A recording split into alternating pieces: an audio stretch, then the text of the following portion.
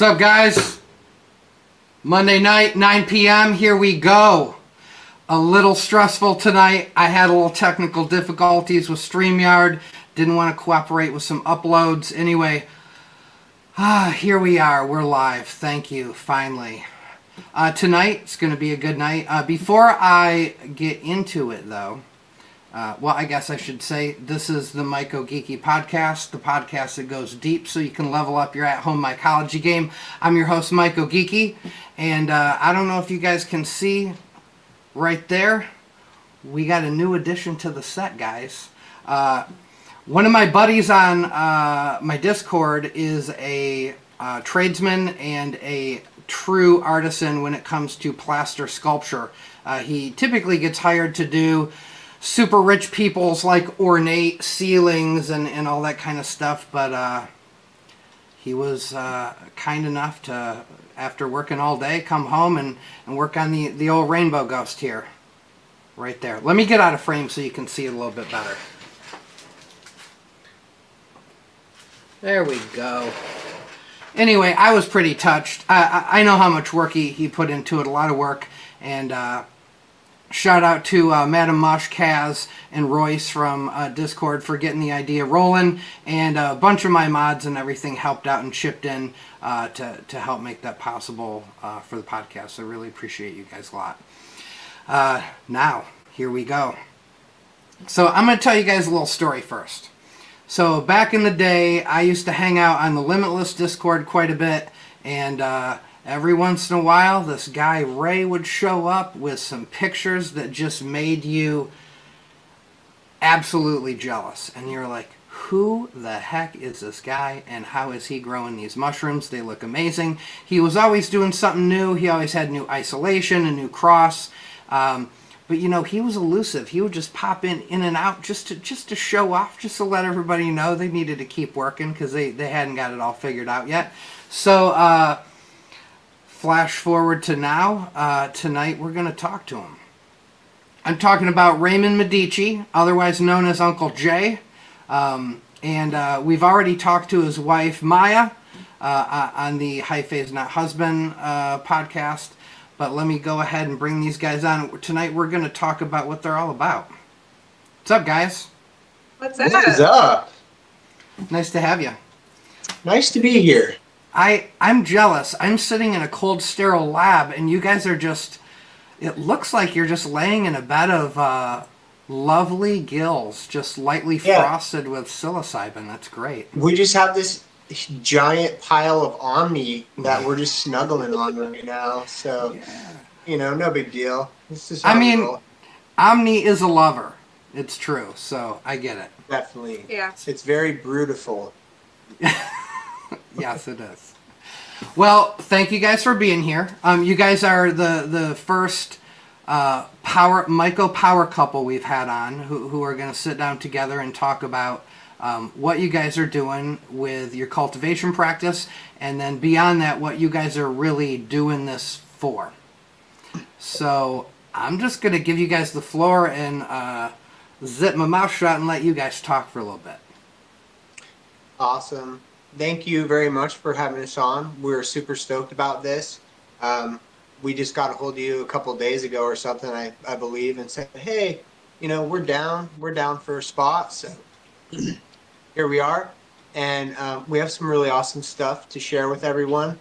We have been working on a couple of different companies the past couple of years that we have been exploring uh, mushroom cultivation and we have been investing a lot of time in figuring out different ways of being able to make really great cubensis crosses and also uh, purchasing some equipment and moving towards doing um, serial, serial dilution and single spore isolations to be able to possibly do some awesome um, psilocybe natalensis crosses yep. with cubensis and other mushrooms, like everyone else is kind of. That is the fad right now, dude. Yes. Yeah, it's very popular, and um, we had thought about this uh, quite a while ago. We didn't make any moves to work with that specifically, but um, last year I was working on a Omni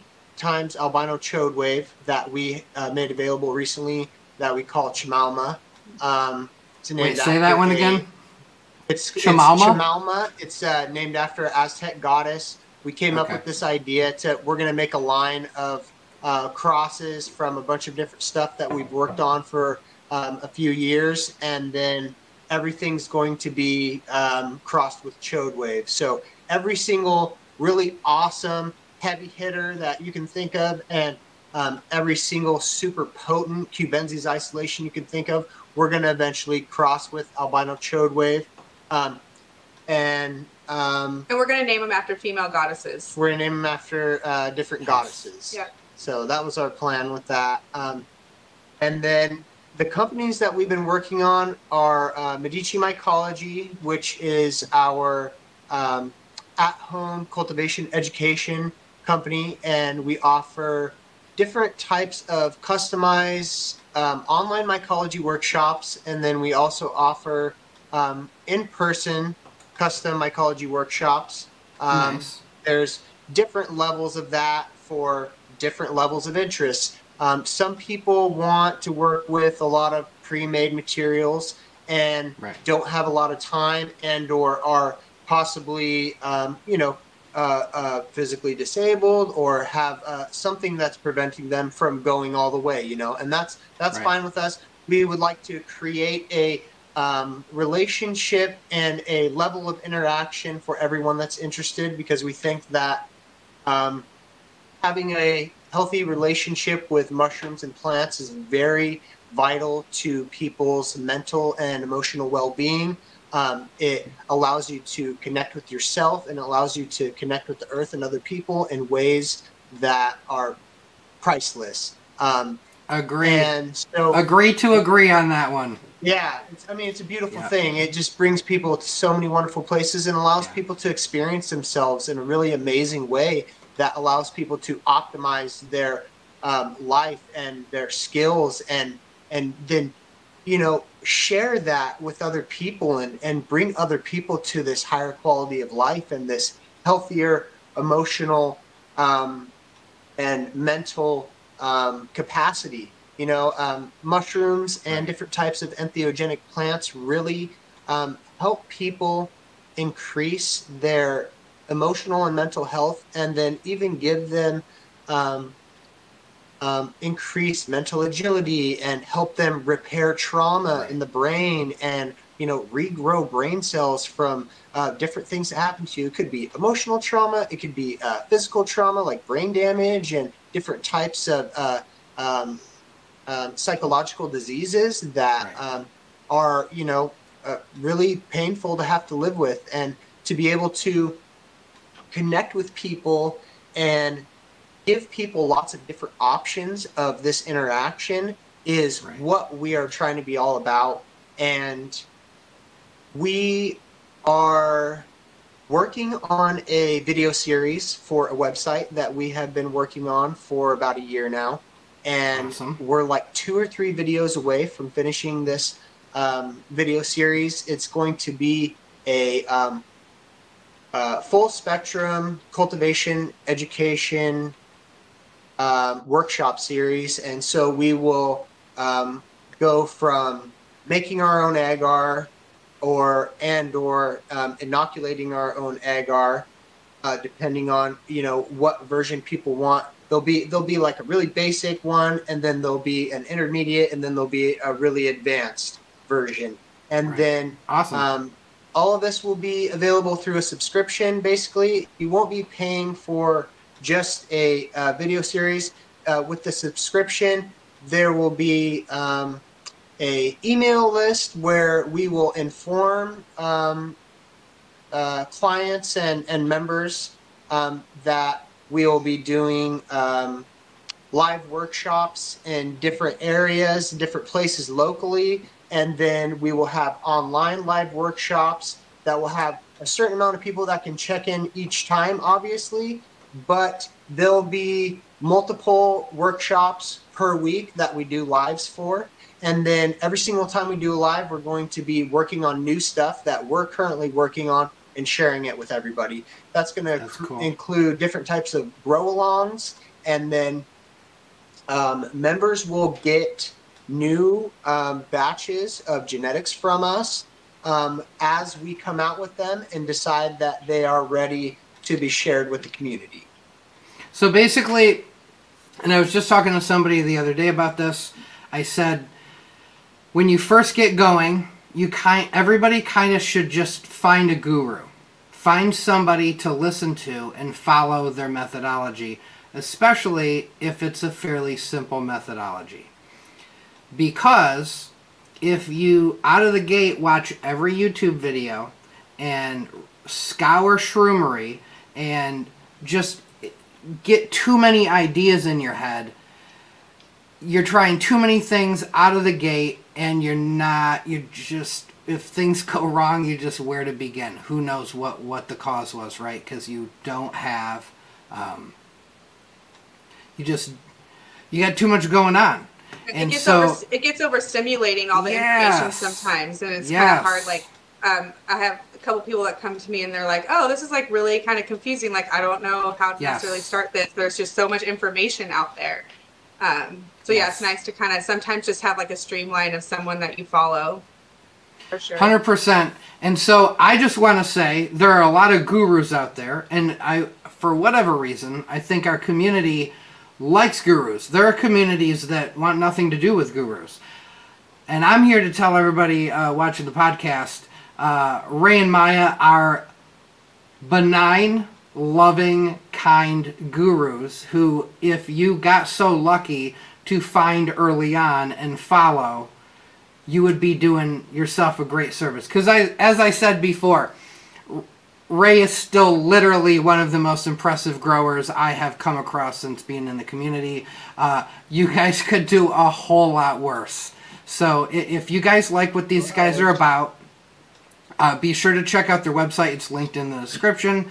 Um, you you can reach out to them on Instagram. Um, and, Yeah, the and get- website we have, the website we have in the description is actually just like a landing page where you can Right. get in contact with us and like our current spore menu and stuff. But um, I'm, we're, I guess we are. I've been doing a lot of work on the, the working on the website and stuff, and um, nice. that will be coming out hopefully by the end of the month. So I hear you, dude. I got my A lot of list of all the things to get done. Yes, it's Yeah. yes, I hear you. We've been Now- projecting. Um, I I actually retired from my current career. Um, Okay. I worked at a, a seafood company for like ten or eleven years um, as a dive control specialist, and I just retired from that on December sixteenth. And I am doing mycology workshops full time and meeting with Amazing. people and talking with people about mycology. So now you guys are you've you've used some terminology that we haven't heard, I don't think heard anybody talk about yet, and that's that you are doing local outreach, that you are actually educating people in your area, which is pretty cool. You guys want to talk a little bit about that and what motivated you to get into doing that? we would love to share about that.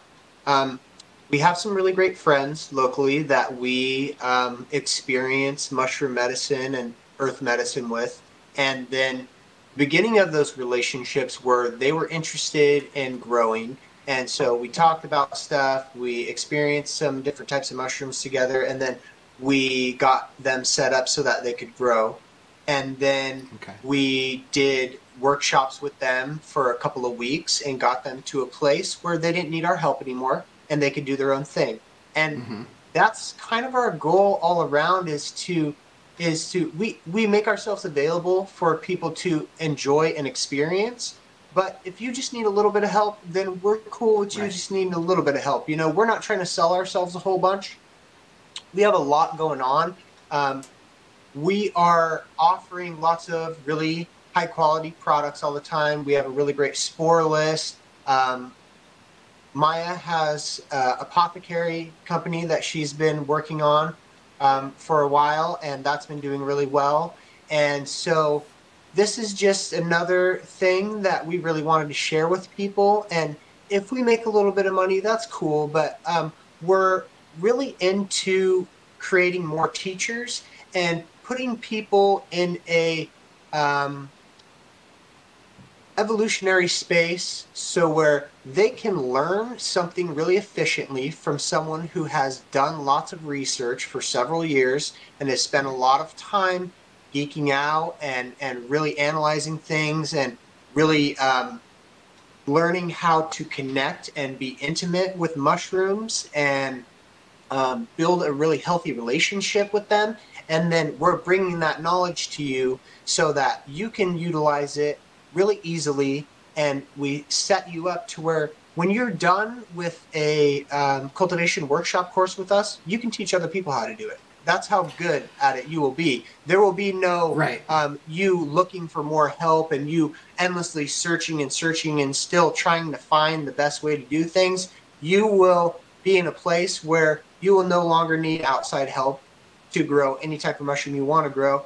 And we have took the time to also learn how to grow gourmets and different types of medicinal mushrooms that take a little bit more effort and are a little bit more complicated. And we love it. And we are doing this because our hearts are full of love for everyone and we want to share this knowledge so people can share it with their loved ones. Yeah. And you know, we're we're we're we're paying it forward. We're giving these beautiful gifts of knowledge and this experience so that other people can do the same. And we also just really want Love people it. to like learn how to like grow their own medicine too. So then that way they can, I mean, we really enjoy um, being able to put our energy into our own um, things that we are doing and that we are um, interacting with and stuff like that. And so we really want people to be able to um, have that kind of um, that interaction with their own medicine because the energy that you get from putting into your medicine comes back to you when you are couldn't agree um, more. You know, and tenfold too, right? Because the mushrooms have their own energy yeah. too and stuff. So um, that's a big important role just for everyone's soul health in general. That that's something I've noticed from um, cultivating is there's this immense amount of soul health that you um, yeah end up healing your your soul. Like he was talking mentally and emotionally but really like it's it's all encompassing with everything. It is so uh this the royce guy who made that thing we uh we were talking the other day uh, with a bunch of people and he said you know the medicine is great. The medicine is powerful. He goes but i found my salvation in the cultivation. He said it taught me and highlighted all my character flaws it showed me, you know, uh, that I needed to learn patience. It, it showed me to form a relationship with, with the mushrooms. He and he just went on and on, and I was just like, I mean, I agree.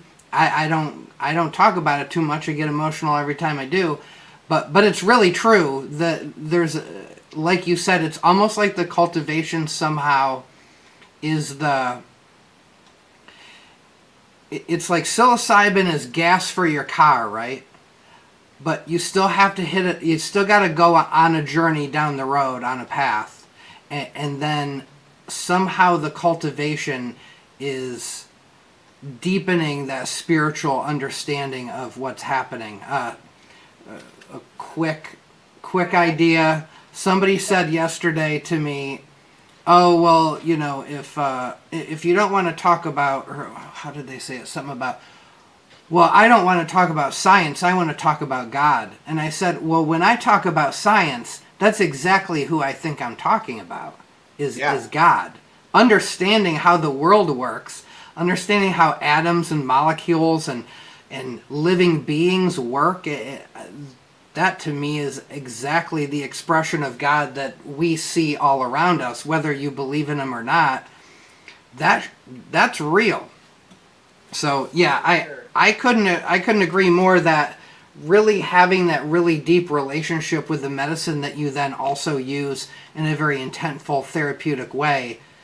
You know, you can eat a strawberry or you can grow a strawberry. You can you can eat a tomato or you can grow the tomato and then slice it up with reverence and eat it and you know actually bring something sacred into your life which is what what I really think you guys are all about and you get, and I think that's why everybody loves you who who gets to know you and comes into contact with you guys. We are super grateful to be able to experience these wonderful interactions with people. Um, we were just talking the other day about a couple of our clients that have been with us for like over a year or something like that. They okay. learned how to grow mushrooms in in one month. We we have, most of our courses are they're one month course. It's four right. interactions over like a four week period, one hour workshops. So we can teach people almost everything they need to know in about four or five hours, and uh, maybe a handful of messages. But we have a couple of clients that are really good friends of ours, and we still talk to. We've known for years. I know people um, from uh, mushroom groups and Instagram and people that I've connected with and um, talked uh, shop with and done trades with and stuff like that for going on like almost five years now. Mm-hmm. And okay. you know, I'm not. I haven't been doing this for a long time. I just spent a lot of time on it. Right. You know, and um, that has been so wonderful. I can relate um, to I, that. I wanted to bring up for sure. One of the main people that um, was really awesome and a really huge part of the acceleration of the beginning of my work was Dustin Fisher, and mm. um, he was super awesome. And oh, where what? How did you find him? Is he local or?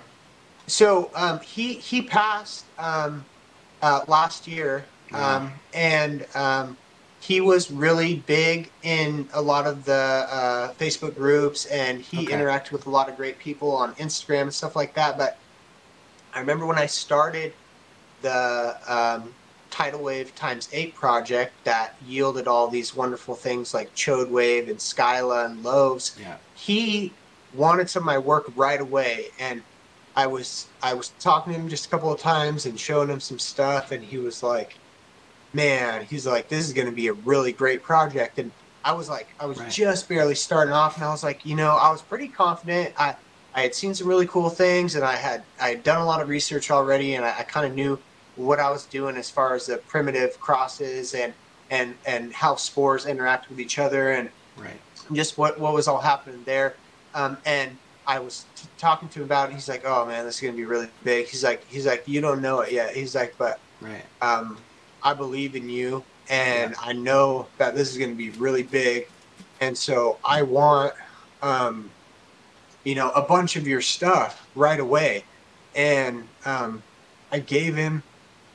I don't even think I sold anything. I just sent him a bunch of cool stuff from uh, the beginning of the Tidal Wave 8 project. And then he was one of the first people that found albino phenotypes from albino chode wave and okay. it was super awesome. And then um, there was a, another guy um, uh, that was that I was really close to. Um, that was from the Myconauts group, um, PJ, and he found another one, and then they just started flooding in. And it was only a couple months after he said something. He he was telling me how great it was going to be, and he knew there was going to be a bunch of awesome stuff popping up and that's basically what we were waiting for at the beginning of this tidal wave times eight project with chode waves was to see all the ape expressions because at first there was a lot of really great combined uh, uh, uh, desirable characteristics from both parents but there wasn't a whole lot of just ape expressions. I was like ah it's probably coming up soon. And then he said some then a couple months later there was like seven different wow. albino chode wave expressions. And then we were you know we have really great relationships with people and we're trading stuff back and forth. We're chatting with people every single day or a couple times a week at least about different right. things. And all of the um, our first customers or like the first people that we started interacting with at the beginning of that project sent us back stuff from every single um, albino um, isolation or phenotype that popped up. And then we started working on it and we started we started working on it. And then we got a couple generations in on the albino chode wave. And then we started doing giveaways and we gave away a couple hundred swab sets when it first came out mm-hmm. and then we added it to our menu and then everyone started running it and um, or a lot of people not maybe not everyone but and then a couple of the people uh, that we're connecting with uh, really great people from uh, Sci Team United, and another really great vendor, uh, Poppies, uh, oh. from Poppies Force. Yeah. Asked our permission to enter it in the psilocybin cup, and okay. Albino Chodewave placed, I think it was like third or fifth.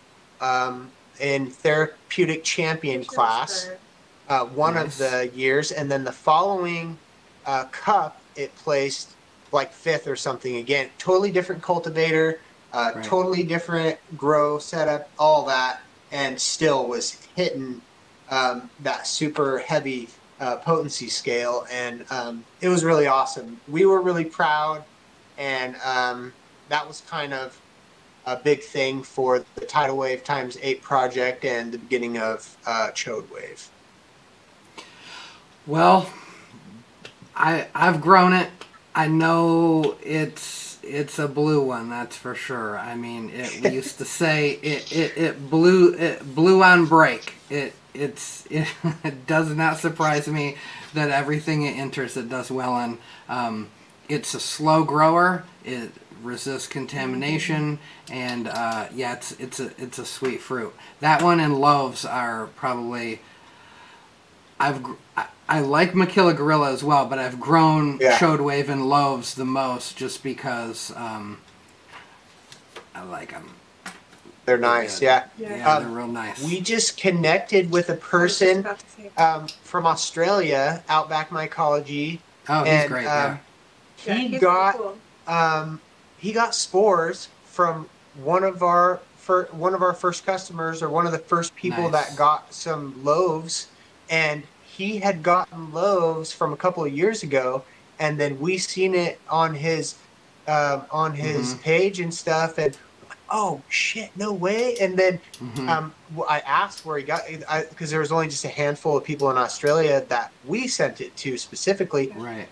And we asked who it was, and it was the exact person that we thought it was, which nice. was another um, customer or or friend, you know, a person that we met in the community that we uh, stayed in touch with for a really long time. And um, Outback Mycology had gotten some loaf spores from him.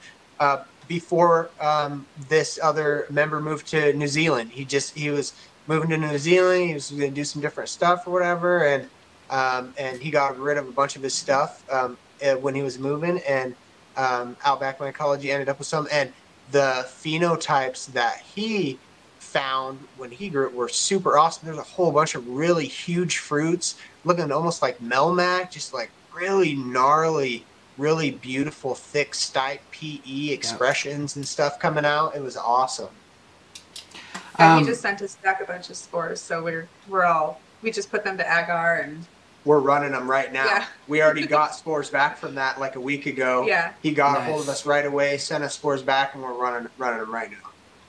Well, so we'll get we'll get into this both in the ethics segment and in just a couple minutes here in the uh, um, in the behind the veil. But I do want to say that your attitude about sharing genetics and you know giving it out and it, and it coming back is I think where I'm slowly moving towards as I think about this more and as we're exploring the um, the the ethical component of vending spores or genetics and just getting it out there, eh, but being very sort of territorial about it.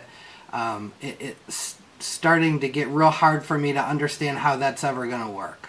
Yeah. So you really can't. You got to really just have that that spread the spores. You know, that's a great saying. We should really just adopt that to our core and. Uh, and, there's and there's enough of everything to go around. There's enough of Correct. everything for everyone. We can all yep. live in abundance. No one needs to be in competition. This this is not a competition. This is a celebration. Agree. You know, yes. what what are we competing for? We're competing so right. we can experience the mushrooms. I mean, right. I, right. Uh, so and so has some cool isolations, and so and so has some cool isolations, and so and so has some cool isolations. Yeah. Just share, just share yeah. everything. Yeah. I mean, I'm not saying don't charge for your work. It's it's totally fine to charge whatever right. you want for your work, but give some shit away too, you know, and don't be so stingy about who gets to grow what. It's like it, it's a living organism that came from the earth first. You might have uh, fiddled right. with it and you know tweaked it and molested it a little bit, but you know it's not yours. You know it's yeah. it's everyone's to share. And and oh. uh, there's another practical aspect of that, which we're we're doing a little side project in the um, in the Discord, and. Uh, we're just realizing that a lot of breeders, you know, they they they do a cross, they get some F1 spores, they work one or two uh, germinations of that, and then they kind of sit on some F1 spores and they they just keep moving forward. But genetically, the spores from F1 and F2, I mean, that's where all the magic is. So when you say stuff like, "Oh, we just gave away 200 spores from that first uh, filial generation," well, that's why all the cool stuff came back to you guys because you got it out there. Because you can't do you're not gonna you can't grow the 200 swabs out right? Like oh, it's just too much work. You gotta get it out there like, Nobody even does. If you get, yes. had like a warehouse full of stuff, it'd be like right. a good 20, 30 years. Yeah. Yes, exactly. Well, and you know, we found like you know we are all for the universe, and the more that you give, the more that you kind of get back too, and um, yep. that's just how it goes. We're not really necessarily in this for like the money, which is we don't want to nice hold on everything financial, either. you know, gain from it. Right. But at the same time, it's we we want to share. We rather we'd rather right. share the love than than have to then keep it. yeah. Yep. It's like uh, Scientology, right? It's uh, the minute you just start charging for your ideas and membership and all that stuff, you just you sour the whole spiritual journey by doing that. It's fair to want to make a buck for your hard work. There's nothing wrong with that. But yeah, the yeah. the, the, the dollar sign exchange. Correct. Yes. Everything's an energy exchange. You can't just be doing shit for free all the time, but but it is fun to share and it's it's nice to just feel kind of relaxed about that too, you know. I feel like the more relaxed we feel about things and the more time that we um, spend putting ourselves in flow state energy and kind of just going with whatever's happening and whatever feels yep. good, we're using our intuition. We're, we're investing in relationships. Relationships and um, building things with people really makes the world a great place. So, um, we're we're we're in the in the business of selling um, customized um, mycology and uh, mushroom cultivation education packages. But as far as like spores and stuff like that go, and isolation, we want to be able to share that with yeah. people as freely as possible. Mm-hmm. Yeah.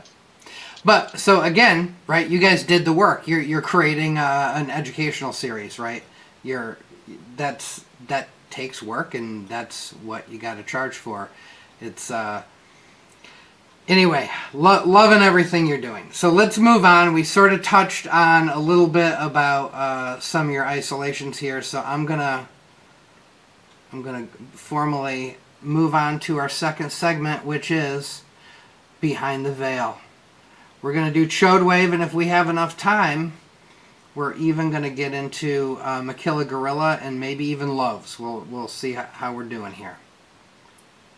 So, all right, let me, all right, look at that. Overlay City, here we go. Nice. All right, so I, am just going to tell you, um, I don't think I've ever grown Chodewave OG, but Albino Chodewave I, I got from uh, uh, our, our buddy DC a while back and fell in love, and it, I think I've had two different phenotypes sort of express themselves, but it, it's really fun. I have had a lot of people over my time in mycology so far be like, what's this chode wave? People are talking about chode wave. What's chode wave? Where'd it come from? What is it? So how about how about we start all the way back chode wave OG? Let's just talk about the birth of chode wave. Okay, so I'm gonna set the stage. I am do. a I'm a beginner mycologist. in my my early days of researching growing mushrooms and I'm at home and I have like I don't know, maybe 20 or 30 different types of spores. And okay. I had grown ape a couple of times and I had a couple of uh, shrapnel test tastings after doing some clones, right? Okay. And I'm like, oh, holy shit, ape is really beautiful, really strong. I'm uh-huh. going multi-dimensional on my couch with the blanket over my head in the middle of the, the night at 4 a.m. in the morning. I'm like, right. I took a bunch of clones earlier, and then I went to this really special place for a while. Right. And then, so I really enjoyed Ape, and I was like, okay, I got to do something with this. Ape's really great, and I grew Tidal Wave alongside it um, for a couple of weeks, and they were always together. I remember they would always finish at the same time, and okay. I was like, okay, I should do. We should do a tidal wave times ape thing. I think that would be mm-hmm. great. Um, tidal wave um, is a super awesome mutant producer, super chaotic, um, right. random. It it just throws all different types of phenotypes, um, and the one that we were working with had a lot of really crazy wavy cap action, and it would have really fat type PE looking fruits. Tidal Wave is is originally as a, a B plus PE um, yep, okay. combo already, so it's already it's its own cross uh, as I've been for uh, a few years, and then I and now I can pull um, up. Let, let me pull up your. Are, are these the right? Am yeah, I too that's, soon? That's that's some of the first ones. Uh, that is, I think, an F two. Um, the very oh, first. Oh, sorry, I got the... I got ahead. I thought I thought I was doing good. I I jumped. I jumped the gun, yeah. didn't I? The okay, really big okay. one, the one that's that was just a cake. The picture that's just a cake. That one I believe was the the original. That was from a T zero plate. So we did a whole bunch of T zero plates. We we mixed spores, did very primitive, mixed spores together. But we did fresh okay. spores. We did we grew them alongside each other for so long. They were always finishing at the same time, and I always had okay. really nice ape and really nice tidal wave all the time finishing. And so I did multiple versions of this multiple times, four or five times, um, okay. and then I did five different sets. I did three different sets of five T0 plates. I'm talking really loud right now, I feel like. No, you're um, good. He always has this yelling. and um, out of all those, um, I think 12 made it, so I only lost three out of the 15 uh, T zeros. So, so are you mixing the two spores in a solution and then squirting it on a plate, or what are you doing? No, we are doing it a very primitive where we did uh, shotgun wetting. We're going back to back. We got two fruits that we wanted to use, mm-hmm. and we're swabbing back and forth. Oh, um, okay, ghetto, fruit. ghetto swab. Okay. Yep. yep. That's I think people and, call it ghetto. Yeah. And yep. then, um, and then I we ran all those T zeros and then we took a look at it. We had a lot of different characteristics from both uh, parent fruits that we used, and then we um, shared um, F1 spores for free to a bunch of different people. Um, right. Dustin and PJ and um, a couple other guys, uh, uh, DC and and um, Ape King and some other peeps got some, uh, gave away a whole bunch of right. OG Chode Wave spores. And then we ran that up to F4. And then at F4, split off a whole bunch. And there was like four or five different phenotypes that were okay. very, very um, consistent. And so um, from those four or five different phenotypes. We ran clones a couple of times, and then we went back to spore on it, and then each one of those became a new project. So from that, there was um, Skyla and Loaves, and then we had another one, um, but we did not keep running it or let go spores of it. Um, and then we worked on those till all those were at like F4s, and then we started making those spores available. Uh, once we kind of decided that we are getting pretty consistent results and we enjoyed them, we made spores available for sale. Before that, though, we still gave away a whole bunch of swabs right, in yeah. between all that.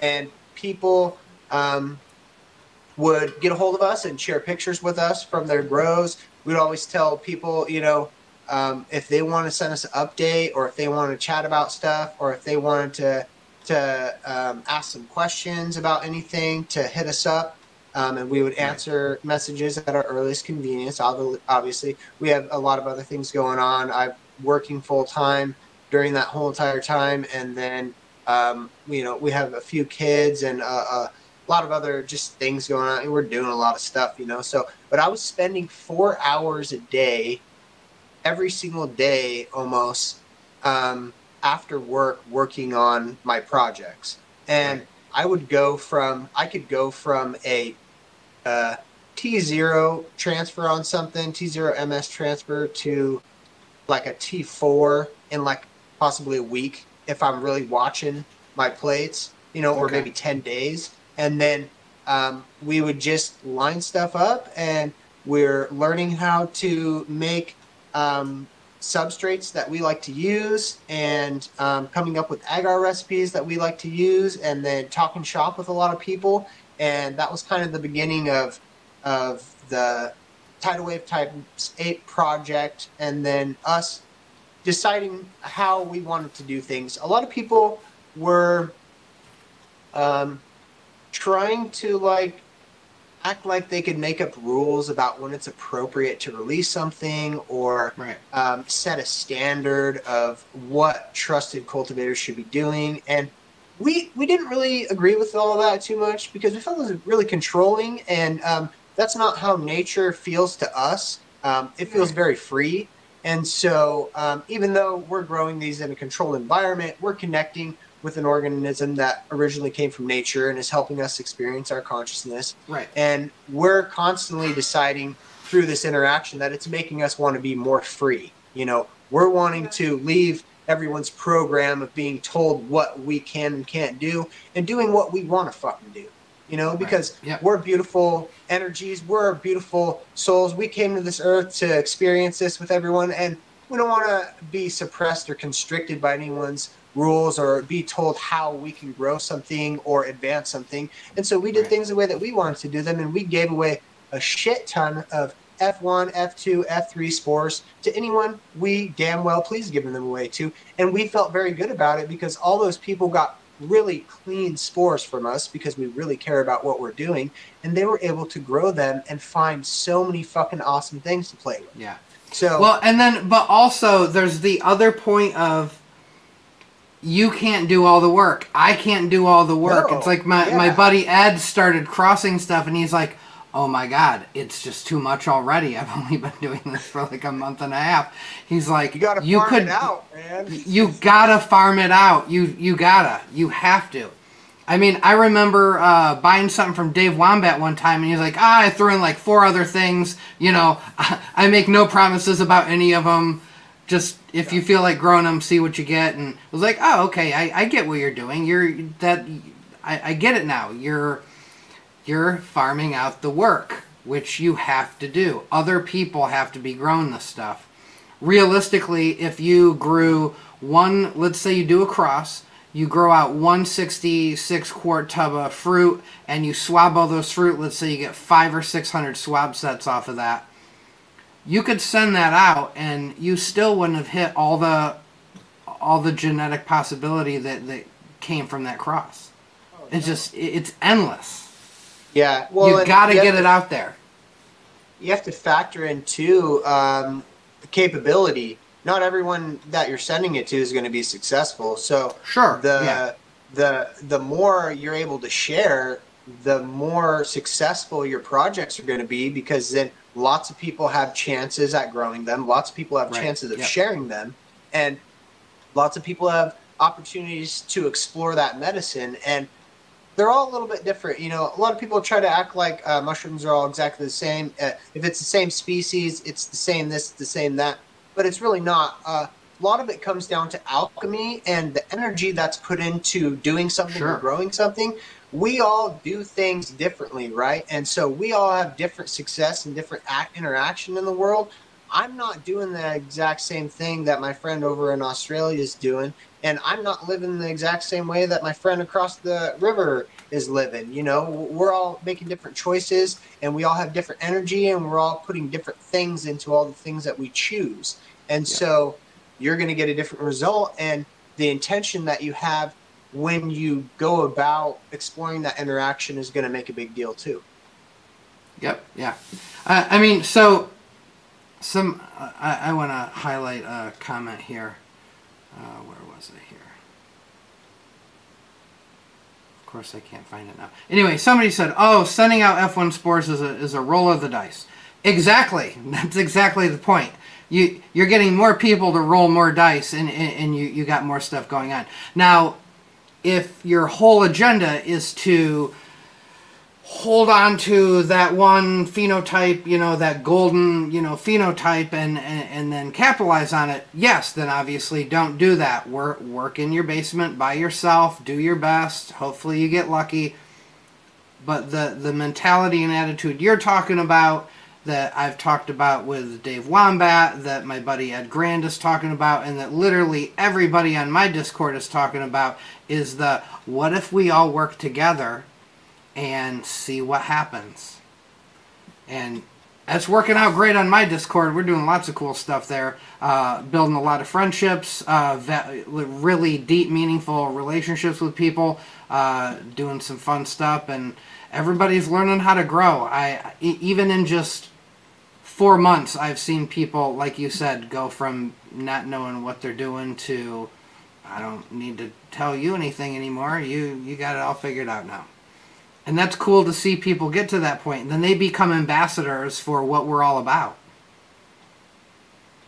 Yeah, um, the whole um, holding on to genetics thing, I, I totally get like valuing something and deciding that something's special. You know, I get that. Yeah, sure. You, you feel attached to things. Uh, people create things. I'm a creator. Um, I have spent my whole life creating things. Um, before this, I, I, created lots of other things, and I'm an artist. Um, I make beautiful children. Um, I, am a builder. You know, I, I, know how to do all these different things, and I nurture all these skills, and so I have more of them. You know, and and what I have learned is that um, the more that I share with people, and the more open I am, and the more um, abundant energy I'm I'm giving out to the world, the more of that I get back. And so yeah. I, we never have to worry about anything. Everything yeah. that we want comes to us. Everything that we could ever imagine needing has always showed up when we need it. Yep. Um, we live a very comfortable life. Um, we're not super rich or anything, but um, our needs are met, and we have really great relationships with people, and we're living a really high quality of life, and that is because we actually care about stuff. You know, um, we're not trying to, um, you know, hold that iron grip around that right. one thing that we think is so special that it has to be just ours, and we're going to make something off of it. It just, it's just, it's not right. part of us. It's not part of our energy. We're more into sharing what we can with everyone and making everything better. It's not just yeah. about us, you know. We're we're living in this abundant and generous energy and we want to give as much as we can while you know taking good care of ourselves you know we we like luxurious shit you know we like having fun we like going doing cool stuff you know so we're keeping some stuff for ourselves too you know we got right. we got a bunch of cool right. shit in the wings that's just for us right. but we're also sharing a lot of really wonderful things that's great at the same time all right so so i think you finally got me sorry i, I got off track a little bit and we both did so let's let's get back onto chode wave yeah. um but I mean, the enthusiasm, I, I get it. You gotta you gotta roll with it. It's just how it is. You, you can't stop the can't stop the the enthusiasm. So I think this was the cake you were talking about, right? Yeah. So that's okay. from a T zero, um, from our tidal wave OG that we ran for quite okay. a while, probably over a year, and then we had ape. Um, that was really nice that we ran for a little bit longer. Okay. The ape that we used was originally from Sporeworks. I had grown it for about a year, and then I found a whole bunch of super fat, thick type fruits that look like the biggest one here popping off, um, yeah. hanging a left, um, and um, super thick, super fat type, really nice looking fruits. And then the tidal wave that we had was a pretty typical looking tidal wave, a little bit thicker stripe, more of a PE looking fruit. Kind of look okay. like these, but with a more ripply cap. The the okay. tidal wave did. Mm-hmm. And then um, we got to. Oh yeah, I think that's that's, nice that's the same that's the, that's the same cake, top right? View. Top view. Yeah. Okay. Yeah. So that was I think this one was a F three from the Chode Wave OG. I think okay. if, if you did them in order, it would have been the the cake is F one, the the tinfoil spread was F two, and then this was F three. Yeah, so F1, F2,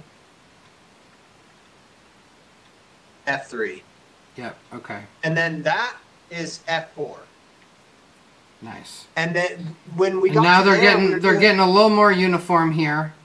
Mhm. Yeah, we're doing really small, or we're doing um, a lot of grow bags. Mhm. The first Yep. couple batches we did um, in the F2 and F3 were mono tubs, and I think we had just started using the gasketed tubs, which everyone really likes. We love the gas- gasketed tubs, and um, and yeah, we ran we ran a whole bunch of the F2 and F3, and then we quickly kind of moved on to F4, and then we did a bunch of grow bags when we did those, so we could do one jar per bag, um, three um, quarts of um, substrate. We go, Nice. um, yeah, and and that those always turned out really nice. Um, Yeah. and then from there, we kind of we started doing a lot of stuff in the unicorn bags or the grow bags because it was really nice to be able to do, especially for pheno hunting, to be able to do a small setup and do one jar. Right. And so uh, it's beautiful doing one jar because if you do one jar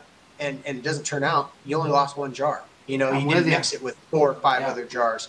And you didn't use as much substrate and you get to take a look at what's there and then take clones and then, you know, move forward. Right. So Yeah. that we did a lot of that where we're just um, doing as many single jar unicorn bags or grow bags that we could do, and then we're cloning and then stabilizing from there, and then um, yeah, we just kept we just kept on that trend. And like so I now, said, how do you how do you go from chode wave to albino chode wave? How how do we get there? So we shared a bunch of the F4 um, Okay. swabs with a bunch of really awesome people. And then from the F4 swabs, all of the albino phenotypes started popping up, and then the ape expression started coming through. And Ah. so then we got um, the first one was from our buddy Dustin, and this is Chodewave OG. So this is some of the genetics from from the some of the first um, albino Chodewave. Okay. And then um, that's the albino chodewave squats. That was quite a bit further down the line. That's probably Oh, going okay, to like sorry. F6 or something. That one right there, that's F beauty. Seven. Yeah. Yeah. And She's then, a, definitely a, a girl mushroom. hmm yeah, it went from masculine Definitely to feminine, feminine. We had a Yeah. couple of really gnarly chodewave They squat mushrooms that looked like giant pussies. Like literally, they were just, they were this, these huge floppers and they were gorgeous. They were. Uh, this one's also the um, OG. Um, Okay. and we had some monster fruits in the beginning of that. I think some of the stuff that people found that they sent back to us was was pretty normal size, more like just regular ape size, um, you know, bigger um, fruits. And then they started getting turned into squats and getting tall and huge wavy caps, and then it just went crazy. And then um, people were sending us all kinds of pictures. They're sending us tons of pictures over Facebook. People are getting hold of us on Instagram saying that they had gotten um, some spores from uh, one of our buddies, or they had gotten some uh, clone plates from someone, or whatever. People that was too at, at the beginning of it. People were really getting into selling a lot of plates, and people were getting into selling cultures a lot more. Um, and Right. it wasn't just spores, and so people were like, "Bam!" They're like, you know, they found Chodewave. People were like, you know, um, just producing. People were pumping out plates and selling shit ton of Chodewave and different Melmacs and stuff like that. And um, we were really enjoying it. We were in the thick of it because every single new thing that somebody came up with, they were coming to us and being like, "Oh, you grew this? Y'all Right. started this? Like, we got to get you some clones, or we got to send some spores back to you." And then we're like, "Oh yeah, of course you do. Like, we're, we're gonna we'll grow that shit." And then we would we would get on it. There'd be no hey sitting on stuff forever. Like normally when people send us stuff, within like a couple of weeks to a month, we will um, start working on whatever they sent us. Yeah. And then we'll, you know, uh, two months later after we got gifted something, we're like, you know, sharing pictures of whatever, you know, gifts that we got Right. a couple of months ago. And, and then we kept a whole bunch of stuff. And then we tried to keep um, albino chode wave on our menu um, as much as possible. After that kind of went down, and we decided that some of the um, isolations we were working on we really liked and, and were stable, and we were going to keep them. And then, um, and then the Skyla was beginning to get really popular too. And we had a lot of people, uh, friends in Australia, that were liking that one and sending us pictures of that one and and giving us updates and sharing spores back with us. And then the loaves kind of hung out for a while. A couple people really liked it. It, it looked like um, Hawaiian sweet rolls or like some some nice big buttery dinner rolls. Mm-hmm. Had really nice caramely kind of soft brown tones and stuff like that, and really really uh, nice buttery uh, shiny looking caps. And uh, we really like that one. That one didn't gain as much traction early on, but really awesome.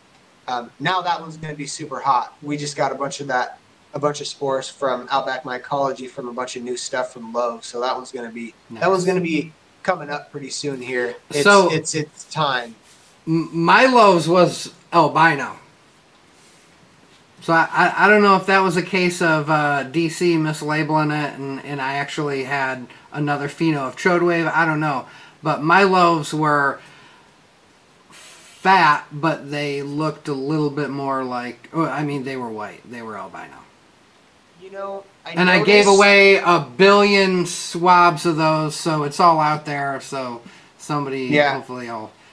I, I haven't seen any albino ones, um, and I noticed and um, just heard a lot that um, a lot of people that got stuff from him did yeah. get some pretty mixed up stuff. Yeah, it, it, it, it could be one of the others. Yeah, and um, that that happens. Um, sure. Sometimes it happens more often than not when people are like, you know, uh, racking up shit tons of cultures and they got like fucking yeah. 97 isolations that right. they're taking transfers from and you know selling boxes and boxes of plates. Yeah. I'm sure it's easy to get stuff mixed up when you're doing stuff like that, which yeah. you know we don't we don't care. We're not um, yeah. concerned about anyone else's business or anyone else's um, flow. Um, we, we we're totally down with whatever anybody wants to do, but it is nice when people actually get what they pay for. So it is nice, um, yes.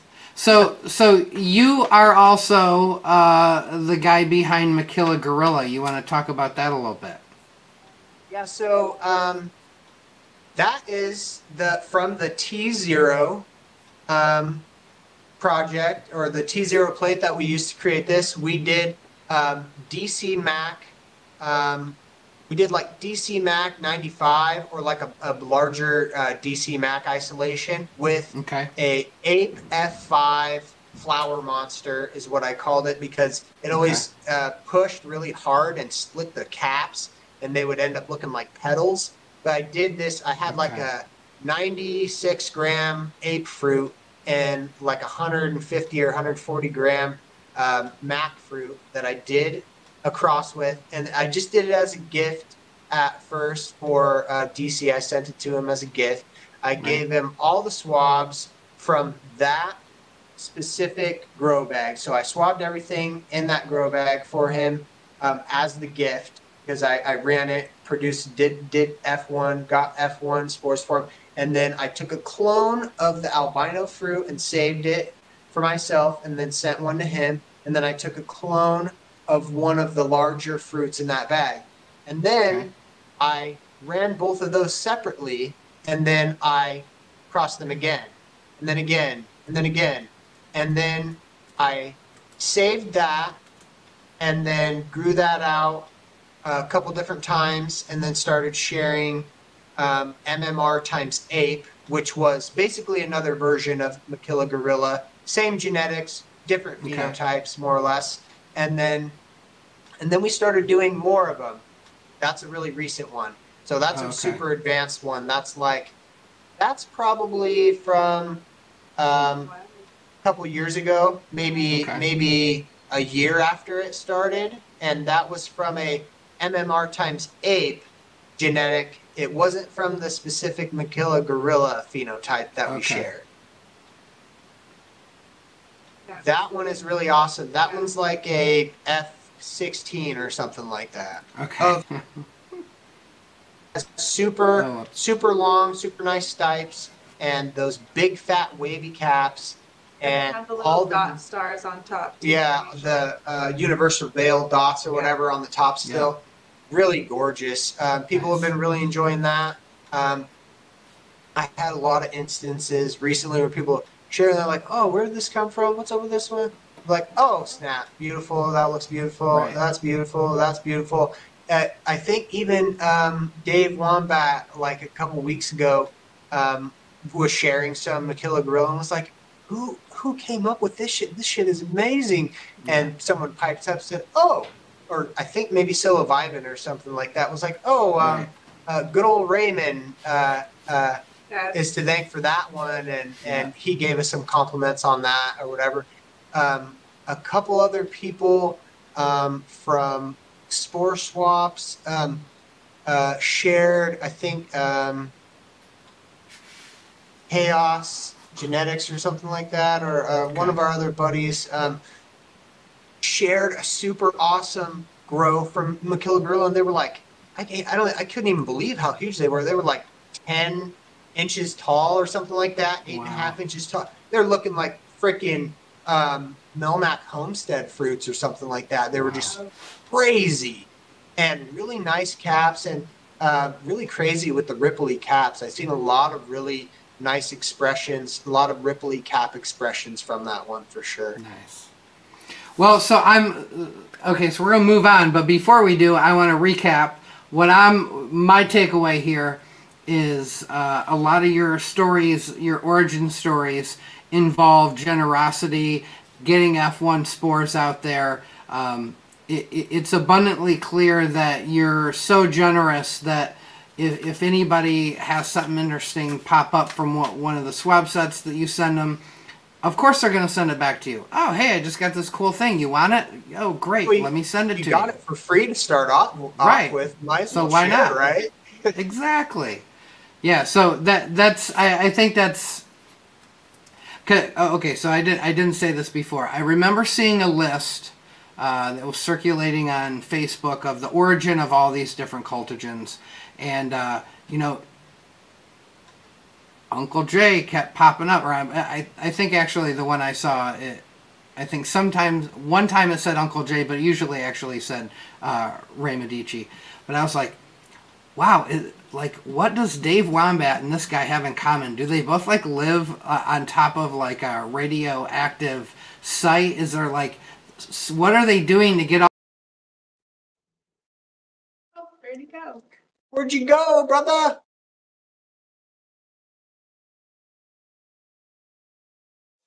Uh oh.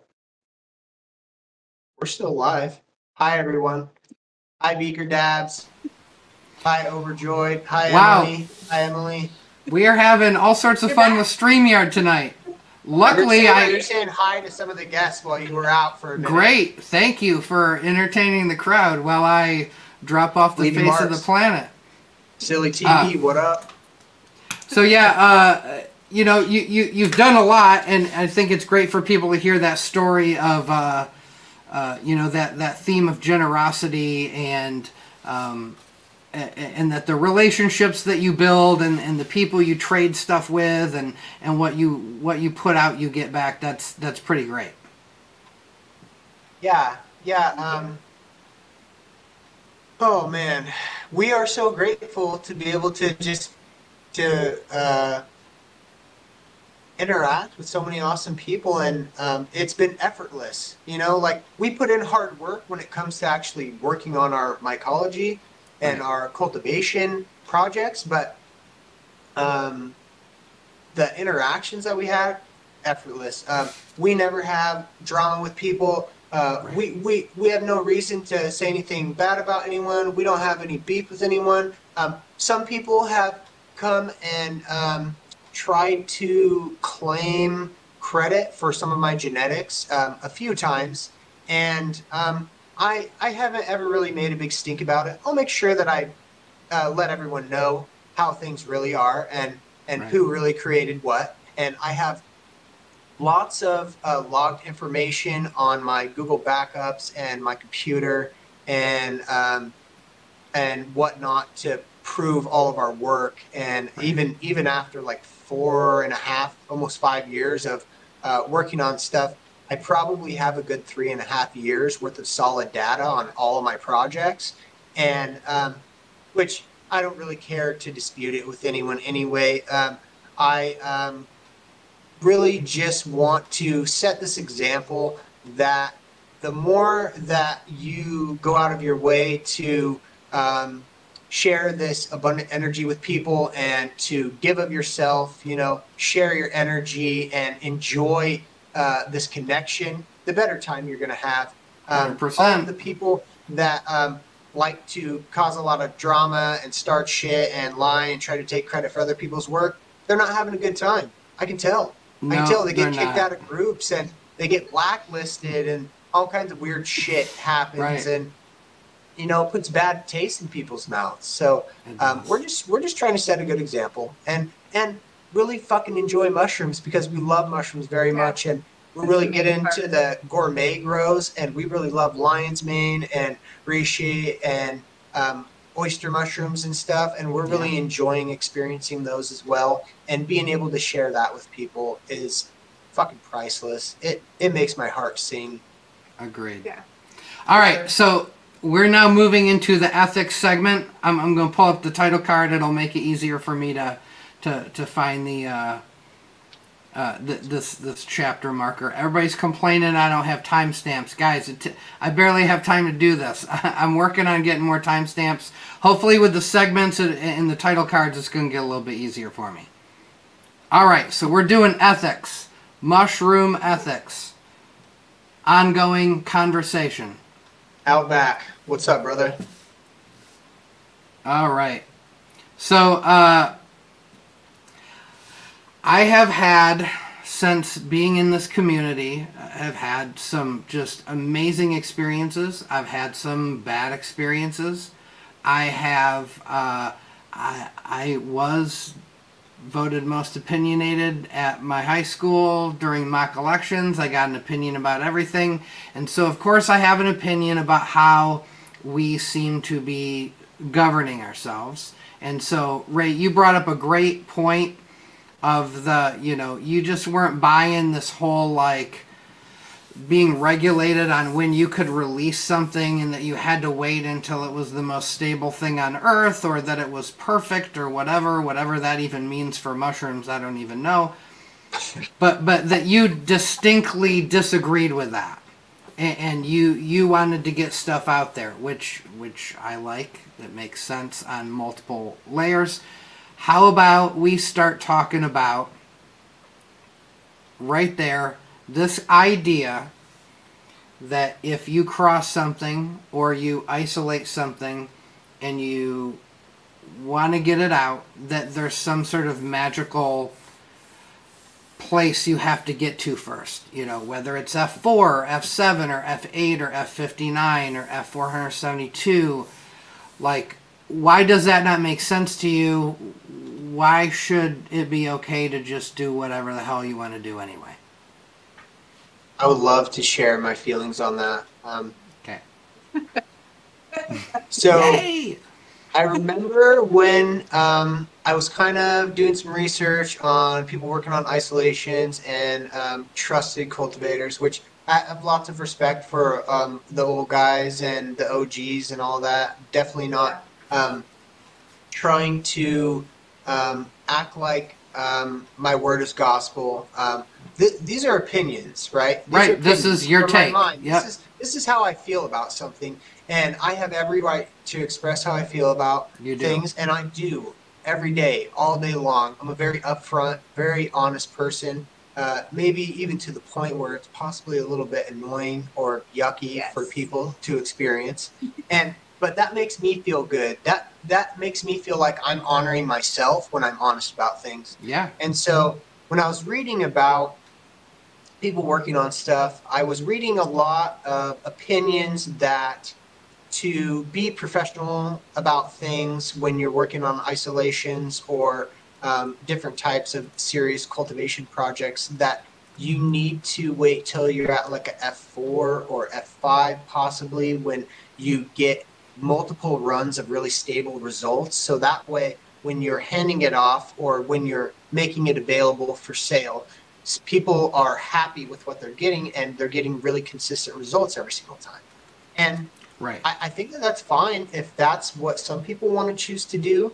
But I don't think anyone should hold another person to their standard of that type of work where it's like you telling me whether or not I can be wild and free or if I have to be chaste and reserved.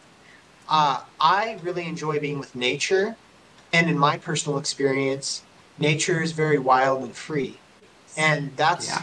how I feel yes. inside. My heart is very wild and free, and I want to do whatever the fuck I want.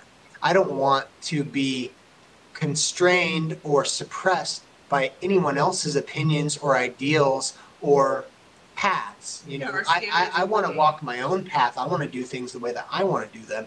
And so when I decided to start some of these things and I was getting to a point where I wanted to share things, it didn't matter too much to me um, how stable something was if I was giving it away for free. If I'm sharing mm-hmm. things for free and I, I'm really enjoying what I'm working on and I am just feeling good about it, that is me sharing part right. of part of my energy with people. And that is me being true to myself and being honest with myself.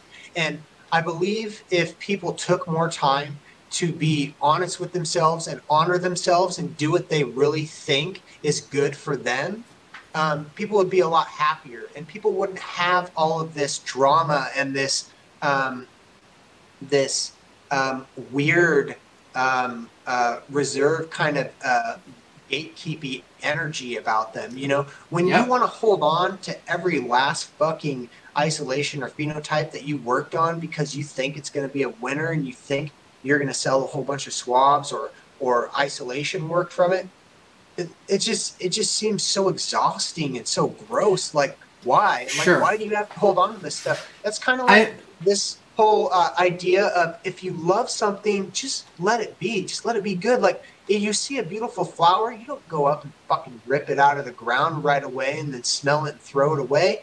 Let the fucking thing grow. You know, right. let it be. Let it be wild and free. Let it do its thing. So yeah. So I kind of like, love. Oh, sorry. Go, Maya. I was just thinking, like, there's like this low grade stress. I think in the community too of being able to do things like the right way and there like right. really is no like right way there's i mean this is mycology is science like it's all right. about like exploring and and figuring out what's best and there, for yourself and for the the right. thing that you're working with there are definitely trustworthy texts that for people sure. should be following yes. but as far as genetics work i don't think that there should be any like set standards or um, ideals or, or rules that people should be held to for any of that especially if people are just sharing stuff. They're just wanting to share stuff and they're not trying to make money off of it. You know, um, I, I, think that it's completely acceptable for people to just share whatever the fuck they want to share. Yeah. Yeah. So, uh, so that let's talk about this. So, okay, first off, I while that's probably my style more, mostly it's because I think that getting more F1 and F2 spores out, like in mass, is going to increase the likelihood that we find cool stuff. And at the end of the day, the the cool fruit definitely attracts newbies to the hobby, right? Like seeing all these different morphologies is very attractive, and and it it, will get more people into the hobby, um, because you know of course if it's just about the psilocybin, any of these fruit have it in it, so it doesn't matter. Obviously, there's more to this cultivation practice, there is a different relationship you have with different morphologies. It's just like people with dogs, right? Like some people like Shih Tzus, some people like Chihuahuas, some people like Irish Wolfhounds, because everybody is a different person. They're attracted to different morphologies. And having more morphologies in our community will be good for the community as a whole. So I 100% am all about that but I also can appreciate. I mean, obviously, it's everybody can do whatever they want to do. I also appreciate the like Wizard of Oz, like the mad scientist who is is brewing up this thing that we have never seen. We don't know what what it is, and then all of a sudden it's just like, bam, there it is. Cool, I love that. And assuming it's not outrageously priced, I will probably want to buy it as well. Um, yeah. But that doesn't mean that because that's how some people are running the show that that's how the show has to be run universally is is kind of where I'm getting to at this point. And like you said, if you're giving it away for free, or for example, obviously, if a spore set represents an amount of work you've done, if you've done only one generation of work, that swab set costs less than if you're at filial generation 15 and you've worked on it for four years and you really think there's something special there. Obviously, at that point, um, those swabs could could and should cost more money. Or if something's just exceptionally rare, somebody got lucky, crossed something really cool, you you know unanimously agreed upon that it's very cool. Of course, charge more money for that for rarity, right? Diamonds cost more than topaz do for a reason. They're harder to find. But again, yeah, everyone can the, decide what they want to do as far as yes. that goes. You know, I mean, uh, you, are not going to make anyone buy your stuff. So if people are right. into it, they're into it. So yep. you know, that's uh, that's all for everyone to figure out. Oh, what's up, Trace? I got something for you. I got I got a I got a special thing here. Uh oh, Trey showed up. Ray is just leaving the the living oh room now. Gosh like these and then. Uh, there we go. You, you see how big? Is it banana for scale, banana, banana for scale, Trace, I did it. oh. Sorry, I had to do that. Um, we have a, a, banana for scale. She said nice. Running joke. Gotta have bananas all day, every nice. day. I don't want to see I don't want to see any more. I don't want to see any more disgusting Bic lighters with canopies. All right. This only fruit, fruit on fruit. New, this is this is the modern age right here. Okay. This is a banana, and it goes on top of your mushrooms or next to your mushrooms. Okay. No more fucking Bic lighters on ah. shit. I know what you do with those weird things. You be smoking weird shit with them and pushing bowls down and whatever the fuck you do. Sure. It's about the bananas, okay? Oh my god. All right. You, you, have your bananas look very fresh. I'm not gonna lie. You I, just bought them. I just bought okay. them, especially okay. for this. Nice. I'm gonna have to make banana bread now. There's no way I can eat that many bananas. You will. Well, we have, we, we have a house, so there is. yeah, we have a section in our freezer just for bananas that we're gonna make into banana bread that we almost yep. never make into banana bread. Yeah, we save ours for smoothies too. How, how yeah. big of a container do you have going? I mean, we easily have how many bananas you just presented to our viewership yeah. in our in our freezer at any given time. Yes.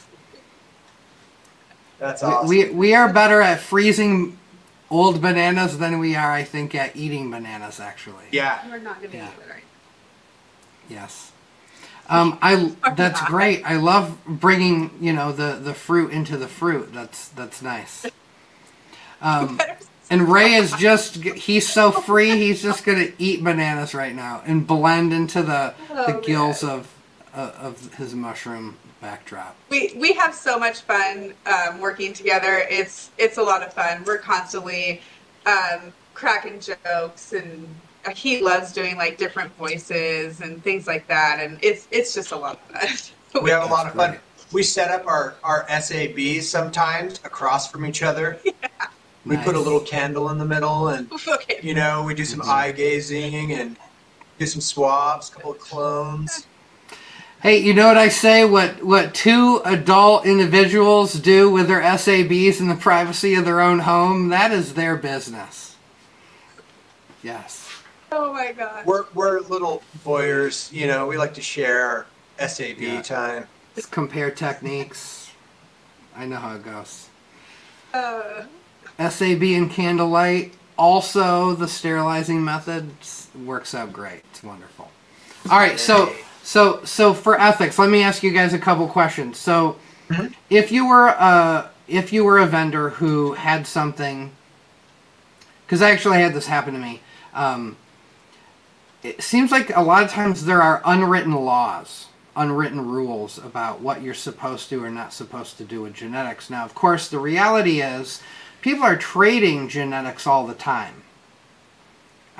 It did not take me long before people said, hey, I see you have X, Y, and Z. I will trade you for LMNOP. How about that? Great, let's do that. So that happens. Um, but I got in trouble by a, a vendor who who basically blacklisted me because when I decided to gift a bunch of liquid culture that I got from him and expanded for the first time, um, that I wasn't supposed to do that. That was like a bad thing. And I, had no clue. I apologized up and down. I offered him money uh, to make up for it. I felt really bad because I didn't know the rules. Um, but like, how do you guys navigate that? Like, uh, you, you know, are you just at a point where you're you're trying to read the vi- read the room of the vendor before you you start exchanging genetics, or, or what do you do? So, first off, um, we're not down with shit like that, and right.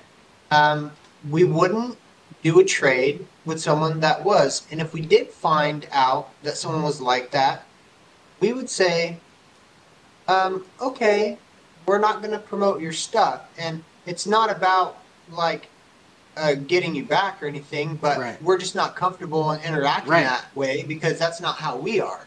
So, gotcha. My um, unwritten rule that I have has always been if I sell something to you or give you something and you can grow it, you can do whatever the fuck you want with it. Right. And I hope that you can do all those things and you can share it. So, right. regardless of whether or not you sell it or you trade it or you give it away, it I feel like if I let something go, right? If I let my intellectual property or my creation go into the wild, then it's free game, you know. Um, that that really, never, yeah. I would just I would never do that. I would never um, come at someone and be like, "Whoa, what are you doing? Like, you can't you can't share my isolation. You, you were just supposed to grow that all by yourself and never share it with anyone." Right. Like what? Now, so I ha- I have received genetics, like you you were saying earlier. It'd be great if you get the thing you thought you bought. Yeah. But I've received genetics from people who thought they I think they thought they were selling me what I wanted and then I got it and absolutely was not that and I am fairly certain that they never actually grew that stuff out. They just get it in as a plate culture, they keep transferring it, they're immediately selling it on their menu. Yeah. I have a problem with that just because if you're going to actually sell something for money, you should you probably should have done yeah. any amount of work on it and know what yeah. it is. Yeah, um, you need to work it. If you're gonna, if yeah. you're, especially if you're gonna sell culture plates of stuff, yeah. you need to work it a couple of times to actually make sure you know what you're working with. Um, I agree. And um, yeah. a couple of people have done this, and then um, I think uh, last year or maybe a little bit longer ago, somebody came up with a really funny um, name for that. Um, right? It's uh, culture vulture. Right? right. It's a good name. Culture vulture. I thought it's, that was the yeah. most hilarious thing. When I heard that, I was like, somebody was talking about this exact scenario where somebody's like selling all this shit that they're not actually working. They might be working some stuff, whatever, whoever the person right. is. Uh, there's a very specific person that's done this that's almost famous for it. I'm not going to name any names. I don't want to be a, a, a, huge dick. I just want to be a medium sized dick. Um, and um, no doxing. We're not gonna in this exploration of ethics. Anyways, we're not gonna dox anybody. Yeah. I, I, think that it's just it's yucky. Nobody needs yeah. to be doing that, and yeah. um, it's it's it's not very ethical, right? I mean, right. Uh, uh, and especially it's, it's frequent. It's frequently sold at the same rate. So, for example, if I invent something called let's call it geeky ghost right okay who wants to grow geeky ghost i sell it for 25 like bucks a, a, 25 bucks a plate And, and then the, the guy gets it from me. He immediately plates it and does transfers and starts selling it for 25 bucks a plate. Well, you've done no work. And you actually don't know what the hell I sent you. like, just grow it out. Grow at least yeah. once. Grow it once. And then take yeah. some spores and you can sell those spores and then grow those spores out. And if you can isolate that successfully, then go ahead and sell plate cultures all day long. I'm not even mad at you, right? But For the sure. minute you For don't sure, yeah. do any you, work, I don't know. Yeah, if you don't do any work, I I, I agree. Uh, as an unwritten rule. Yeah. Um, if you're, you know, if if we're gonna have any at all, um, to be just peddling things, you're just leavening culture. I mean, uh, yeah. you're you're not really doing a whole lot. I mean, it, it takes you know a small amount of materials and a really really small amount of research to be able to make up some agar plates and do a couple transfers. If you're not actually going through the work of right. running something to grain yep. and bulk substrate and fruiting it, I, I don't think you deserve to sell culture plates of it. Right, and hope I mean what I'm hoping through all this is people who start watching this and watch the ethics segment are like, oh, I like vendors who actually do the work and grow things out and have an ethic behind their work. And when they put something out, the photos that they show of that fruit are from their own grows. Yeah. That Not like, really hey, hey, dude, too.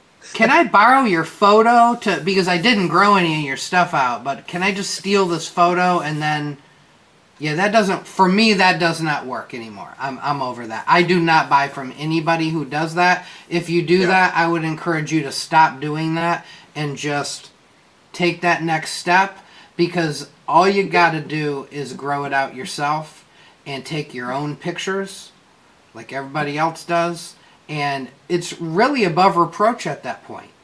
If I say, yeah. "Oh yeah, I sell plate cultures." "Oh yeah, where'd you get it?" Well, originally I got it from Ray, but but then I grew it out. I swabbed it. I germinated some swabs, and and I actually tweaked it a little bit. You know, my isolate, my little pheno expression that I got off my my T zero plates. They they were a little bit different, and so mine are different. But I took pictures of my own grow, and so here's what you're getting.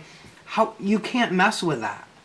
Yeah, that's awesome. That's awesome. That's how you should be doing it. It's only a couple more weeks work too right, than what you already did. I mean, yeah. Well, it kind of comes back to what we were saying before, like, like everyone's environment is different and everyone's energy is different too. So, I mean, it's gonna, I mean, things are gonna get stabilized, but at the same time, you're like, you're gonna get a little bit different right. just because of the environment and the person growing it. Mm-hmm. Yeah, like my ODPE look different because I give each one a kiss goodnight before I go to bed. it's the secret.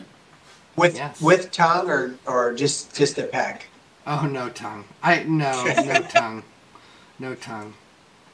I I try to keep it platonic with my with my mushrooms. I see, I see. Yeah. Some people like to get kinky, you know. Now, now mycelium is another story. Mycelium, I have tried to seduce on an occasion. Yeah, I find nice. mycelium to be to, to be the sexier uh, uh, uh, of of the morphology for sure. Yeah, yeah.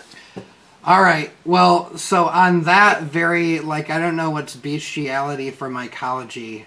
I don't know what the word is for that, but no, no one is having sex with mushrooms, guys. If you're just tuning in, we're not doing that. not on here. them, maybe. Not here. Somewhere yes. someone is, but not here. That's for sure.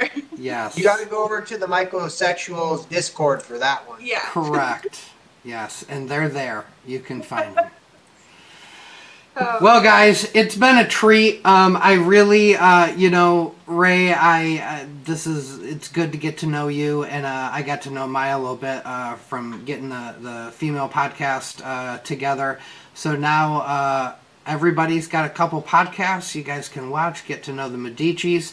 If you want to connect and get to know them more, reach out on Instagram. Somebody asked, are they on Facebook? They are. I think you guys are trying to to do a little bit more on Instagram. Is that correct? Yeah, yeah, we do quite a bit on Instagram. Okay. Yeah, yeah. We so have... we're on all the Facebook grow like cultivation community right. pages and stuff okay. like that. So we have like uh, three and a half years of solid work um, on my Instagram, and then nice. uh, Maya has about a year or so worth of stuff on hers, and then we're always tagging each other and um, you know leading uh, followers to uh, other people's pages that we dig and that we like, and promoting people that we um, enjoy interact interacting with. And um, after she did um, the Ladies in Mycology podcast with you. Um, she racked up a whole bunch of followers on Instagram, and then they started coming my way, and then we just did nice huge albino Chodewave spore swap giveaway on yeah. Instagram and a couple of different Facebook groups, and we both did like a follow share deal or screenshot okay. follow share deal, and racked up a bunch of new uh, friends and followers, and gave away like I think like 50 spore swabs so far. We have another 50 spore swabs to give away this month. I um, promised that we would do a good uh, three to five different giveaways, and we did three so far. So we got two more giveaways that we need to give away nice. at least 25 spore swabs. So be on the lookout for that on Facebook and Instagram. And then um, we, um, a lot of our products are available. Um, um, through us. Um, yeah. You can um, just message us. Um, you cool. can hit the beacon that's available. Yeah, the link in um, the description will give you all the information, like our current spore menu. I actually need to update the spore menu, but um, it has like our Facebooks and Instagrams and stuff like that. and then we're also currently building our own Facebook group too. So that will Sweet. be out soon for everyone to be a part of it's going to be Midichee Mycology. It's going to be a really badass group. A lot of it's going to be us promoting ourselves, but with that, we're going to be uh, doing a shit ton of giveaways on there, sharing a whole bunch of our work, and then also promoting other groups. In our group, we're going to allow other group promotions. There's a lot of groups that don't allow you to promote other groups and don't allow you to uh, promote uh, people's Instagram and stuff like that. But we're going to have a little bit more relaxed um, environment, and we are going to allow people to um, promote other groups and promote themselves a little bit. And then we'll have some really low key, really um, OG uh, spore vendors in there. Some of our really great cool. friends that we have um, spent a lot of time with and done projects with already. And so that's something that's really awesome that's going to be coming up here pretty soon. Yeah. All right. Well, I, I, gotta join the I gotta join the Myco OG for sure. Um, it's been a pleasure. You guys are awesome. Um, I uh, like I said have only been impressed by you guys for, uh, from from day one, and, and nothing has changed since. Um, thank you so so much for being on, and uh, I'm sure we'll have you guys back shortly. Thank you very much. We hope you have a really great time talking with Edward. Um, oh yeah, Ed's coming up, guys. Don't Any go bananas anywhere. to give away. Thank you, everyone who stopped by to uh, watch this live and commented and experienced this with us. We really enjoy all of your energy. Um, feel free to hit us up, message us. Let's talk cultivation. Yeah, yeah man. Yeah, I'm, uh, I'm, I'm looking forward to seeing your geeky ghost come out. Someday. Oh yeah. Someday. Geeky Ghost Isolation coming Someday. out. I I'm, I better get a clone right away, man. You know, but damn it, no better, but nobody better sell it. No, I won't. Kidding. I'll keep it all to myself forever. just in private, just in just a private grow. Yes. Uh, anyway, all right, guys. Uh, talk to you later. I, hopefully, I can find Eddie's roaming the streets of Bangkok somewhere. Uh, oh shit. Yeah. No, oh, yeah. He, he he's around. I'm sure. All right. All right. All right, guys. Uh, see you later.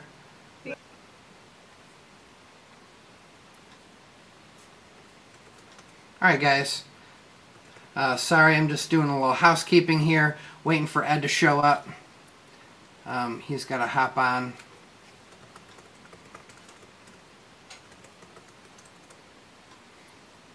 Uh, okay technical difficulties. Um, so anyway, guys, uh, I hope you guys are enjoying the new segments. Um, it's a li- well, it's a lot more work, but uh, I, I think at the end of the day, it, it's going to allow people to. Um, oh, he said he's here. Okay, Ed, if you're here, I don't see your video feed though. Where's your video feed at?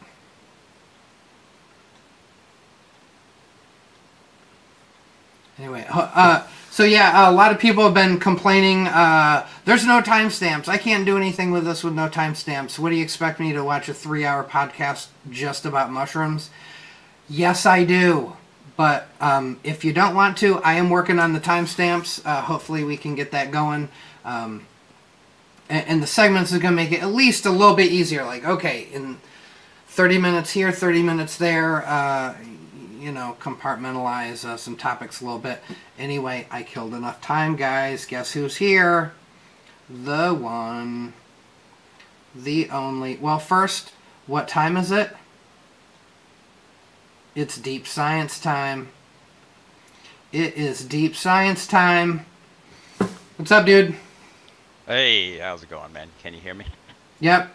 I just told everybody I said he's probably riding through the rain on his motorcycle in the streets of Bangkok, Thailand, avoiding getting karate chopped by ninja warriors, oh, or just buying bananas. I got my big All right. lighters too. Okay, but well you can you can throw those big lighters out. You don't need those anymore. I know. I'm so conflicted. Ah, I don't know what to uh, do. I just, tribalism thing. But of course, your bananas. You what? What the hell bananas do you have? What are those? Those are like dude, they, Thai bananas. They, yeah, they sell like twenty different kinds of bananas here, dude. Some are like this big. Some are oh. like uh like Ron Jeremy size. Like nice. you, like, I I I don't even know what you're talking about. Yeah, no, no, I don't either. I have no idea just, who that is. random, random name. Jenna no Jameson. Clue. I don't, I don't know her. No, I don't know how big her banana is either. Um, anyway, so uh, yeah, I guess they they take bananas more seriously. Here, it's just whatever United yeah. Fruit Company makes. That's all we oh, get. Yeah. yeah. Oh, and they're fresh, man. That. Like, like I literally bought. You have to eat them. You were talking about banana bread. Like those, I just bought last night, and they're already overripe because wow. they pick them right off the tree. You know, mm-hmm. like they're not. Well, they're growing them down the frickin' street, right? Yeah. I mean, they grow them there. Literally. Yeah. In my front yard, I have like three banana trees. Like, wow. so people steal them is the problem. Yeah. So they gotta. Luckily, my uh, my little farm, they don't they don't see that stuff. yeah, that's what you don't want them to steal. Yeah, yeah. I gotta hide the weed plants and the and the other stuff. You do. I talked to a guy today who uh, he he grows his weed and his mushrooms together. So uh, I think mm. we're gonna. I know. I knew you would tisk tisk that. I'm gonna bring him out. I'm gonna find out what he does. But he idea. he. Unless you have him complete. Right. That's why I just I just put the bananas out in the hallway because I don't want them near anywhere like right. there's bugs on them, mites. I had a right. I had a horrible mite problem that was pretty much provoked by. I actually don't have any weed anymore. I destroyed all the plants because I'm like, eh, the ROI is not really working out here. You know, the sure, uh, like mites and uh, substrate contamination. I just got rid of right. all the plants. I, there are some people that can do the the plant fungus thing, but I'm apparently not one of them, and I have that's fine. Good results, man. That's fine. You don't have to be that. All right, so let but, me pull up. I, I think let me just. I'm like paranoid about the bananas now. Let me get them back in the fridge. I'm a little bit paranoid. I really like. Dude, it took me like three months to get rid of the mites, and it was such a nightmare. Like, okay, I got my. I, got my core. Is the sound uh, okay for everybody else? Like we're no. I no I think you fixed whatever happened last time. It has been fixed. Yes. Okay.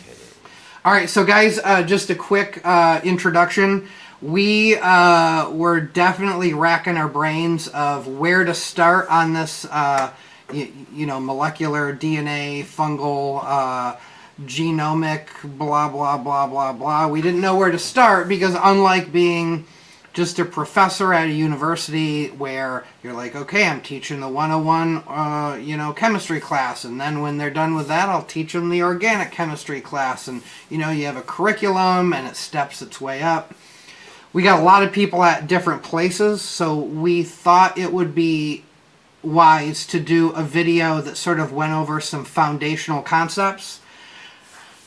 Try to give people who, you know, literally graduated high school 30 years ago and do not remember any science at all, give you guys a chance to sort of catch up. The guys who, you know, have, uh, you know, chemistry degrees, you guys are going to probably be slightly bored, but hopefully not too bored. Um, but, but the goal here in this first presentation is to just quickly give people some information uh, as it pertains particularly to cubensis and an understanding of, of uh, some of the concepts they're going to have to have and you're going to want to do some independent research on so you can keep up as, as we're sort of move, moving through some of this stuff. Uh, does that sound about right, Ed? Mm-hmm. Okay. All right, so uh, I'm going to pull the slide up. Ed, Ed did uh, most of the work. I just made it pretty. Um, Ed saw it the other day. He said, "Well, it's so pretty. I, I don't know what you want me to say now, but you know, we we like hearing you talk, Ed. So we'll we'll let you do some talking." Okay. All right. So let me pull this overlay off. That's not going to be needed right now. Okay. All right. So biotechnology. Um, I am in the process of learning how to you know do some DNA barcoding to identify the species, and uh, I, I, plan on doing some content related to that. Um, was hoping to get uh, Alan Rockefeller on to talk a little bit about that. Hopefully one day I can still make that dream come true. Um, for now, we're going to just move through uh, this first presentation on uh, fungal DNA here. All right, take take it away, Ed. Okay, so this is a little different because I'm normally the one operating the slides, and I, am pretty chaotic uh, with with my uh, PowerPoints. I've been doing this for a while, so hopefully this is. Shoot, man, I, I should have sent it to you, and you could. Uh, next time I'll send it to you. You upload it. I think this will be okay. I think it'll work. All right. Um, so yeah, like, like Mike Geek was saying there, we we don't want to like lose anybody. I don't want to lose anybody. In fact, the whole purpose of this is to be a more inclusive because I do frequently get the comments of like, "Oh, I'm stupid." I, I, you guys, can you stop saying that? Nobody's stupid. right. Um, like it, when when you uh, kind of what is that? self degrading? What do they call it? Deprecating. Self-deprecation. Um, yeah. Yeah. Sure. So it, it's kind of not really productive. So if you're gonna come at this, you got to come at it with the idea that you're you're coming to learn something, and don't mm-hmm. just say like like when I I tell people I teach chemistry. Um, like the first thing they inevitably say to me is, "I hate chemistry." so if you come into it with that kind of attitude, like it's not really the best way to learn stuff, because sure. it'd be like you know you're already putting up a wall. Um, and so like what we're doing, I mean, at the end of the day, we're growing mushrooms, right? So like we don't need to be like super duper serious. Like Raymond was saying, you know, about like this kind of like, uh, oh, it's mine. It's like this, this belongs to everybody, you know. Like right. it's we're growing mushrooms here. It's not. Right. I mean, hey, I understand. Your can you move your little the little mouth part just a little closer to your mouth? Yep. There we go. Like cool. that. Nice. Juicy. Uh, okay, cool. Velvety. Now I feel like a like a air traffic. I got my little spit guard on there. What do they call it? A pop filter. It's so, all good. So okay, cool. Um so let's see. Uh single spores, gosh, you know, these are like some definitions, I guess. Uh, a single spore is going to germinate into what we call haploid monokaryotic mycelium. Uh, this is a little bit tricky when you start talking about other fungi besides cubes because they can have multinucleate spores and then the, the, the kind of Coprinus uh, thing people start getting into that they've used Coprinus cinereus like for a lot of um, older genetics work and that that's not what we're dealing with, you guys. Try not to get too much into the like the weird stuff. Right. Like cubes cubes are basic basidiomycete fungi. They're they're not like anything fancy. They're not mutated versions of of Coprinus that's been hit with UV or EMS or some kind of mutagenic. We're just dealing with normal mushrooms. They have haploid spores. They form dikaryons and then they undergo meiosis to form spores.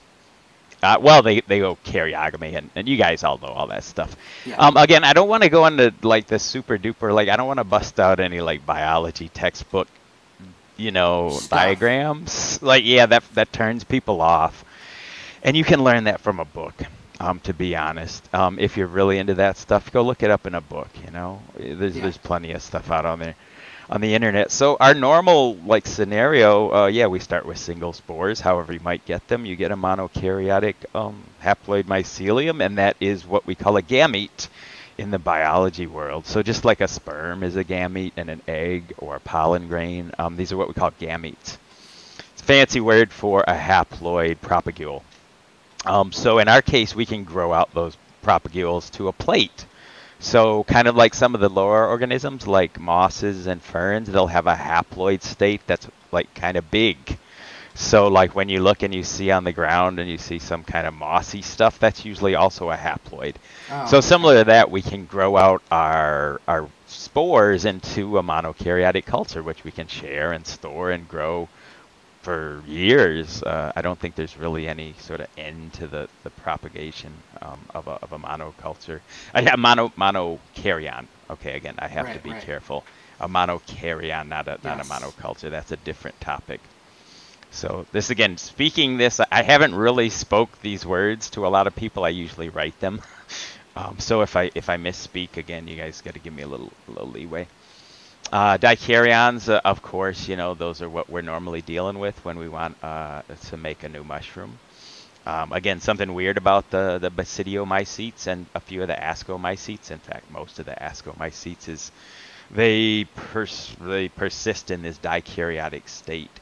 So they can persist in the monokaryotic haploid state, but they can also persist in the, uh, the, the dikaryotic state. Again, not the diploid state, right? Because dikaryon means N plus N, so there's two haploid nuclei. And they undergo karyogamy in that final terminal cell, what we call the basidium, and that's where meiosis occurs, and that's where all the magic happens. So when and we then, have our plates, so when we have our, our dikaryon cultures, right? there's there's two nuclei, but they're they're not together. They're not diploid yet. They're just hanging out in that hyphae until they make a fruit, and then finally go through that final process. Right? Okay. Yep, exactly. That that's what probably a lot of people um, maybe kind of forget when they get they get a little confused because they're used to thinking about diploids like humans and diploids like animals and, and that process of like meiosis kind of happens oh uh, in very specialized organs and in, in, in fungi we there is a specialized organ that's called a basidium um, but that's uh, that's kind of like I don't know it happens at different parts of the life cycle so okay. so that that's a little confusing for some people I think um, and then if we, I mean, to keep this brief, as as yeah, as I kind of figured what's going to happen, I'm I'm running off at the mouth here. um, what what what we call mitochondrial DNA and um, some of the other what we would generically refer to as episomal DNA. Um, there could be viruses floating around there. There, virus is something I want to discuss later on in the Discord okay. groups, you guys. We're we're not nobody really touches touches on viruses, but I think they need to be discussed. but um, mitochondrial DNA, um, and and then any other, there might be weird plasmids floating around in there that could be derived from from eukaryotes, or they could be derived from um, bacteria. Maybe um, I don't know. That whole realm is is, is up for grabs now. Um, but that would generally be referred to as epigenetics. But mitochondrial DNA um, is is a good example of that. You know, there's there's other copies of our ribosomals, uh, as you can as as Michael there is, is written uh, the ribosomal protein. You know, all that stuff. There there could be different copies, um, and that sometimes leads to ambiguity in our sequencing um, results also. Um, so we got to be a little bit careful. But again, another topic that's for another time. All right, let me move. You ready for next slide? Yeah. So I, I think the the core the super core takeaway on this slide is when we say DNA, the when it comes to our cubes, the places they are are in the spores or in the hyphae. They're in the the, the nuclei, the the two nucleuses. Nucleuses? No, uh, nuclei. Um, it didn't feel right, man. I don't know why, but okay, nuclei. Um, I do it all the time. I don't. And then a tiny little bit in mitochondria. So, so that that's sort of the key takeaway. When we're just saying fungal DNA, this is where it is. It's in the nucleus, whether it's in the spore or it's in the nucleus within the um, the two nuclei within the hyphae, and then the mitochondria. Okay. Right, right. And just one more thing: that the nuclear DNA is going to completely overwhelm the mitochondrial DNA. So if you're doing a PCR reaction and you're extracting, if you're doing a DNA extraction, the nuclear DNA is going to way, way, way overwhelm the mitochondrial DNA. So once you start to go through the technical aspects of like a PCR reaction, the the mitochondrial DNA, unless you isolate it specifically, re requires centrifugation and a bunch of other stuff. Um, you, you, don't really need to worry about the mitochondrial DNA unless you're specifically trying to look at it. So, so yeah, right. base okay. pairs again. You got for you chemistry people. Oh, I, I said I was a chemistry teacher. Again, I don't want to make it boring if you look way, way, way back in the chapter one of your intro chemistry book, you'll see something called hydrogen bonding. Uh, hydrogen bonding is not the bond of a hydrogen to a nitrogen or the hydrogen to a carbon. It's uh, hydrogen that's electrostatically attracted to another electronegative element like nitrogen or oxygen. So if you look at the slide, you'll see the little dash lines.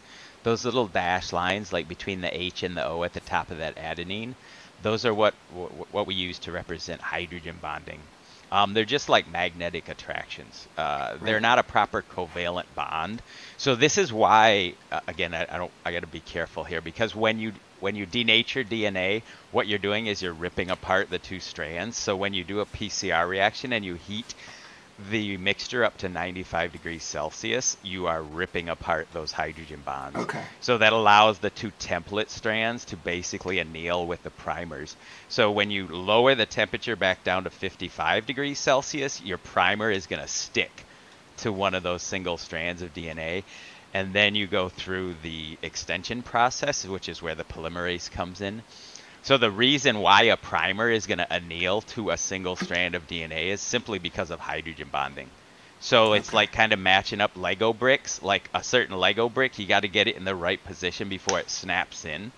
And in order to do that, you have to have a primer that's complementary to that DNA sequence that you're trying to amplify. Right. And that almost exclusively is dictated by hydrogen bonds, which in turn is dictated by the base pair sequence. So when we sure. say a DNA sequence, we're we're kind of inherently kind of uh, where they say like tacitly referring to where they they hydrogen bond with each other, and this has many many other implications. Uh, why water molecules are are sphere, uh, why water forms like spheres, you know, droplets. Okay, sure. All that chemistry stuff that people that like people hate. So it's say so the hydrogen bonding. It's uh, if I remember correctly from chemistry the, it's sort of sharing that electron, right? No. No. No, it's an but it's a lo- It's a loose no. bond, right? No, it's not a bond. It's an electrostatic attraction. Oh, so they're not actually bonded. So saying hydro- the hydrogen bonding, it's not bonded. It's just sort of, it's like a magnet holding that position. Exactly. Okay, so two okay. magnets don't need to be touching. There's no physical right. contact. A covalent okay. bond is a sharing of electrons, and even when you have ionic bonds where they completely get ripped off. Right. This is not. This is why people in intro chemistry they don't nev- they never quite understand it. And I talk to fourth year bio students that still don't understand this. It's not a bond. Unfortunately, we don't have a better word and a better I term see. than hydrogen bonding. It's not a bond. It's an electrostatic attraction, and that's why we put dots there if you think about it as a covalent, covalent bonds are hundreds of times stronger. So if you were to try okay. to rip the hydrogen off of that nitrogen, it would take a lot of energy. Whereas I that see. that like like electrostatic, it's kind of like static, you know, like when you mm-hmm. get like a shock when you put on your shirt. It's that type of weak, weak, weak. So it's like static cling. It, that's ex- no, that's yeah, exactly what it is. Okay. That's exactly what it is. So when you rip apart this, when you get into your PCR and, and design primers, you look for primers that are specific for G's and C's. Because sure. if you look at the bottom base pair, the GC, GCs have three hydrogen bonds. So okay. GCs are essentially one and a half times stronger than an AT bond. So if you're looking at primers and oh. your annealing temperatures and, and you want to know what your, your PCR parameters are, you have to consider the GC content of your primers.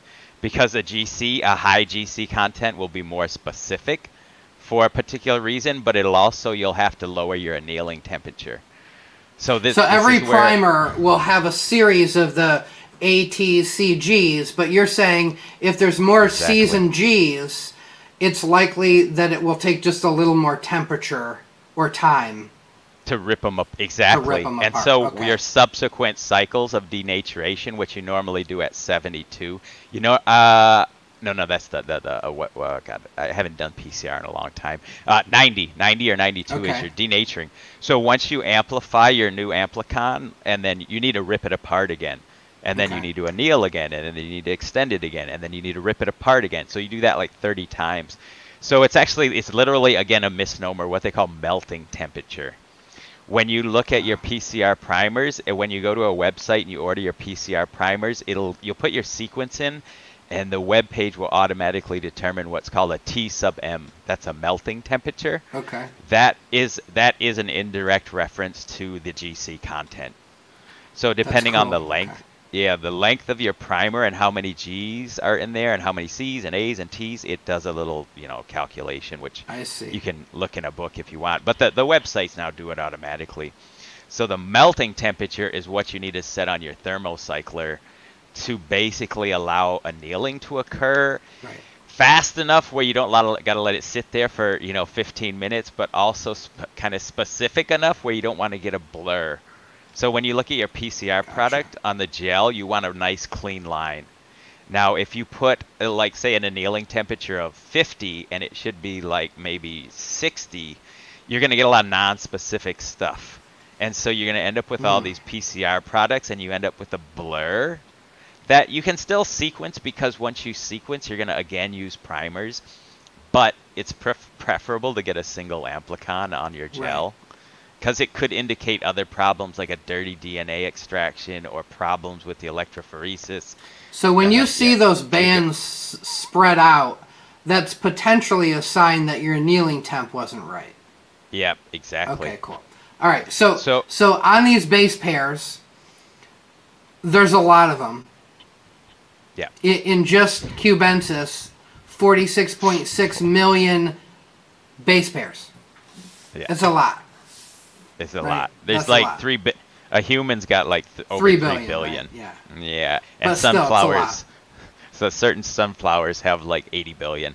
Wait, what? Why so do sunflowers is, have more? Yeah. This is what's no, called no, no. Look, don't answer that question. Don't answer that question. C, val- okay. C value yeah. paradox. Look it up. It's on Wikipedia. Okay. C, C value paradox. Okay. All right. Well, that'll be another podcast. All right. Polyploids. So let, Polyploids. Let, us go to so okay. Mbp another, another is. Well, yes, we will take notes. We will do another podcast. Um, so Mbp is abbreviation from millions of base pairs. Yeah. Um, and we're going to be talking about base pairs a lot when it comes to uh, sequencing. So I wanted to really make sure that, that we had a core foundational understanding. When we say base pair, we're talking about one rung on that DNA double helix that, that goes on forever. Here we go. All right. What is a gene? All you got to answer for us, Ed. What okay, okay. We're, we're at 30 minutes. This happens all the time, man. I, I will I'll do like a we're five. Good. We're halfway done, dude. We're doing great. Oh, are we? I think we're on the yeah, third slide. Okay. Um, a gene is basically uh, another kind of generic colloquial term for something that does a functional. At the end, it does something. Um, so so when we get into evolutionary biology and all these like uh, these we use ITS, LSU, SSU. We have to pick a gene based on like what level of taxonomy we want to go at. So the the example that we've used a couple times is hemoglobin. If you have a mutation in your hemoglobin gene, you're dead. Right? That's going to be a fatal mutation. So in a prezygotic state or even a zygotic state, if there's some mutation in your gene for hemoglobin, you're never going to be born. Right? It's just okay, simple right. as that very very important. And if you develop a mutation later you're going to die right? Um, so those kind of things if you're looking at say the difference between giraffes and humans and toads or something that kind of level of like conservation which is another term we'll, we'll introduce that that's good because you don't want it to change so much that you can't see anything happening. Um, you know it'd be just too random but now when we get down to the other end where we're talking about ITS and, and that's not really a gene, so it's got components of the ribosome and it's got parts that we might consider genes. But the the key thing with ITS is that it has what we would consider basically introns and exons. And so there's parts that would be part of the ribosomal DNA machinery and the whole ribosomal complex, which is what basically makes proteins. Right. Um, yeah. So you, you can get this kind of like you do you get two for one kind of thing where you get you get a genus level and a specific level like a species level um, sort of ability uh, in one little DNA amplicon. So you can look at your ITS1, your 5.8S, and your ITS2, and then maybe even a little bit on the sides, depending on your primers um, and the technique, and you can like see lots of cool stuff. Um, from so just, just, like a single. Just, just guys, so you know, he's talking about uh, the the top here. This is just a graphic representing this region of the DNA, um, mm. and, we're we're going to get to why ITS matters and and all that in, in a lot more in the next podcast. Ed has also just done a video on his uh, YouTube channel that gets into this a little bit. We're going to go in a little more detail, but I just want to make sure everybody knew when he says SSU, that's the far far left. It's a very conserved region. LSU on the right, almost as conserved. And then in the middle is all the, the ITS stuff, and there's parts of ITS. Okay, now let, let me go back here. So a, a gene is basically just a term that means a functional section of DNA.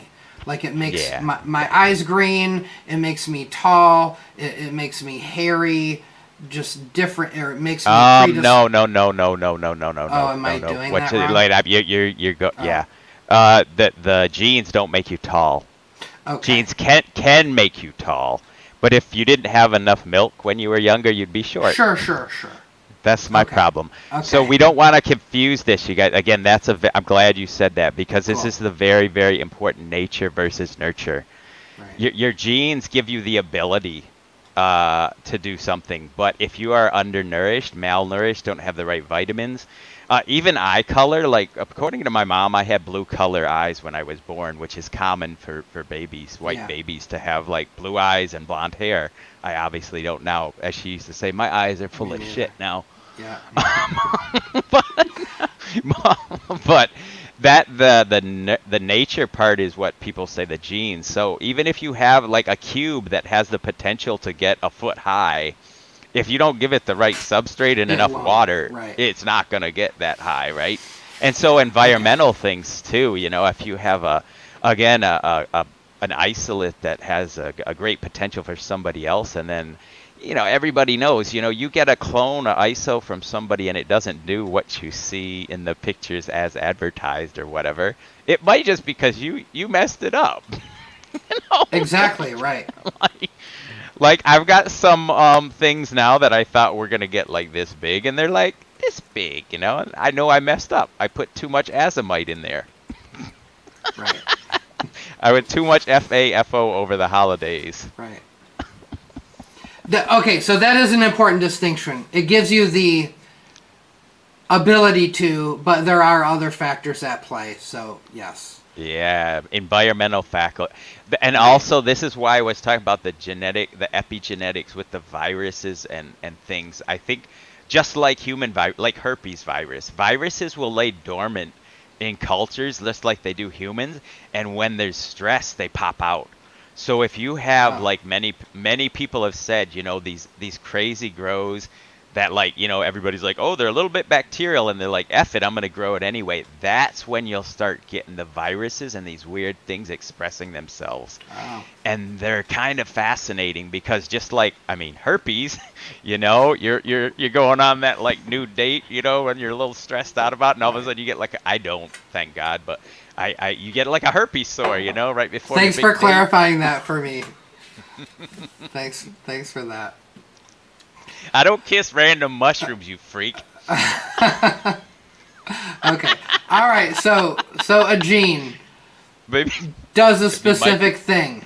Okay. Now, what is a genome? A genome is all of this stuff together. All the stuff like, that makes yep. me me, right? Yep, exactly. Okay. And again, that okay. is come that comes directly from your parents. Uh, right. Like There is no two ways about it unless you've been infected by a bunch of viruses that retroactively change your DNA, which there there are there are some. Um, uh, there's a good a good book called Virolution actually that goes into it. Uh, yeah, but, I'm like yeah, four chapters in. It's a good book.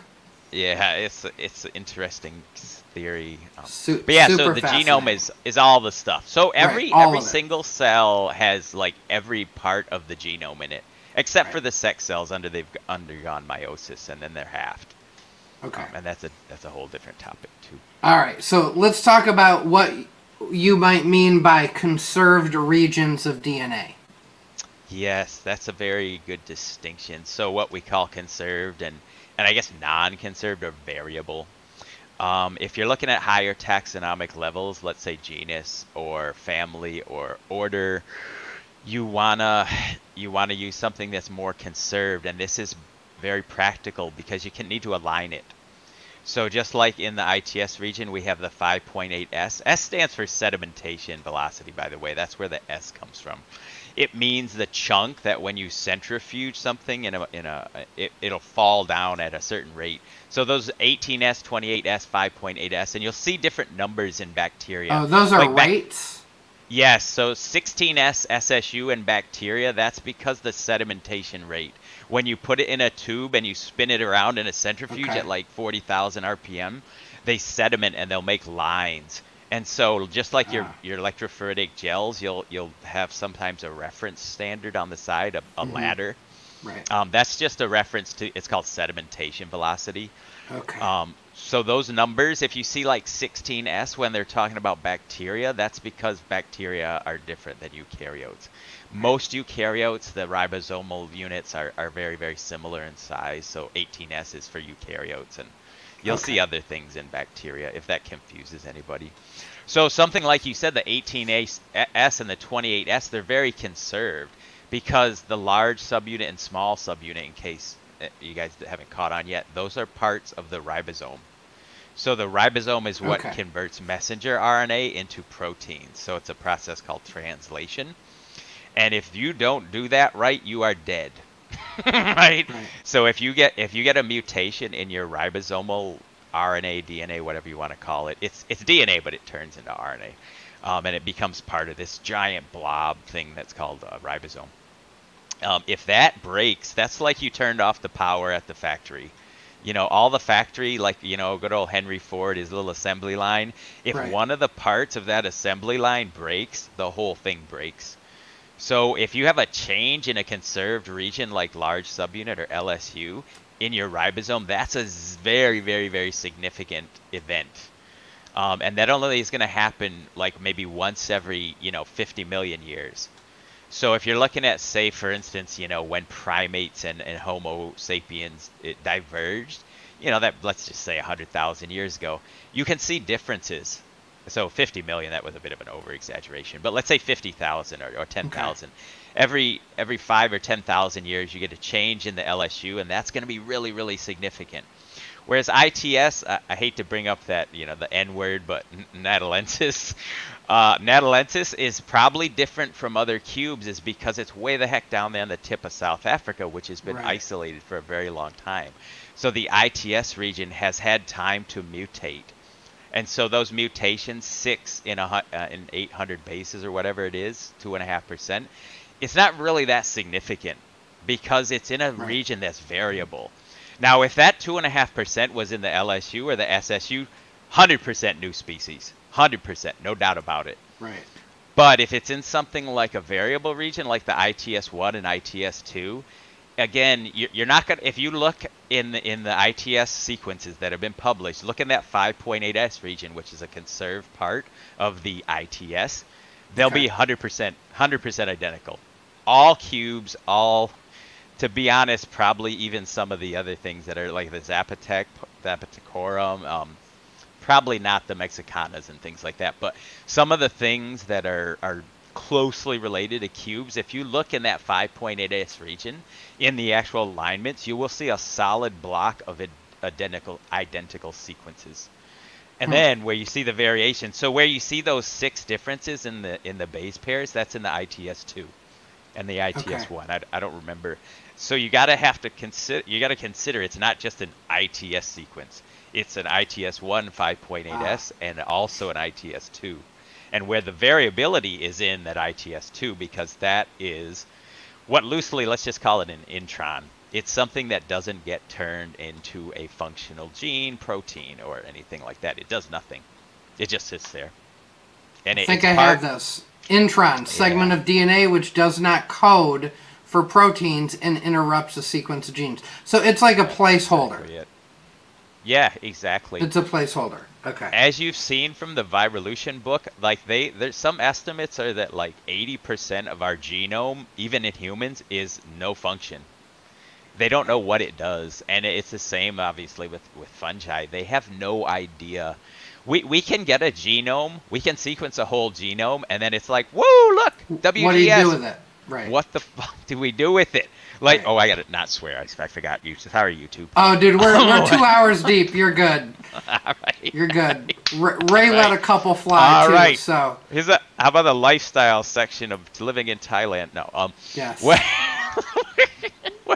we're uh no, I'm a good boy. Uh, but yeah, we're we're um we're looking at these like 46 what is it? Four, 46.6 megabases, million, M- million, million bases? base base pairs, yeah. That I don't think most people realize how many like A, G, C's, and T's that are. That's a, that's, that's a, a lot. Bunch. So 800 out of that is like a 0.00 something percent of the entire right. genome. So focusing on this little tiny region is is out of necessity what we've had to do. Like we cannot, uh, even with our computers these days, you cannot compare genomes. You have to pick regions. So then we get into the SNPs, like the single nucleotide polymorphisms that we use for, you know, 23andMe to figure out your your your what are your pedigree or your ancestry. Uh, you just simply can't. You can't take 200 uh, cube sequences and 46 million base bases and pump them into a computer. It would. It's just not going to work. The, and then what? It doesn't know what to do with it anyway, right? Exactly. What do you do with that's it? That's like that's like five other episodes. When you right. get to the software like Omega, which is the freely available, like uh, I think it's on its 11th version now. Uh, some people call it Mega 10, uh, Mega X, Mega 10. You know the Roman numeral. I don't mm-hmm. know. What people call it. It's different. Now it's on 11, so they've avoided any ambiguity.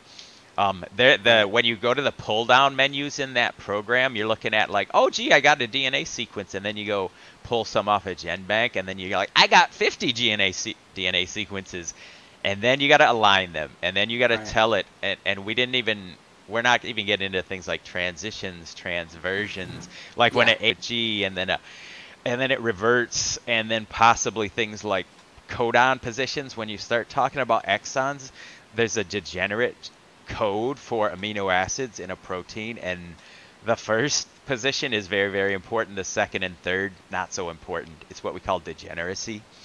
So okay. if you look at a pr- protein sequence and you see a lysine there's six codons for lysine.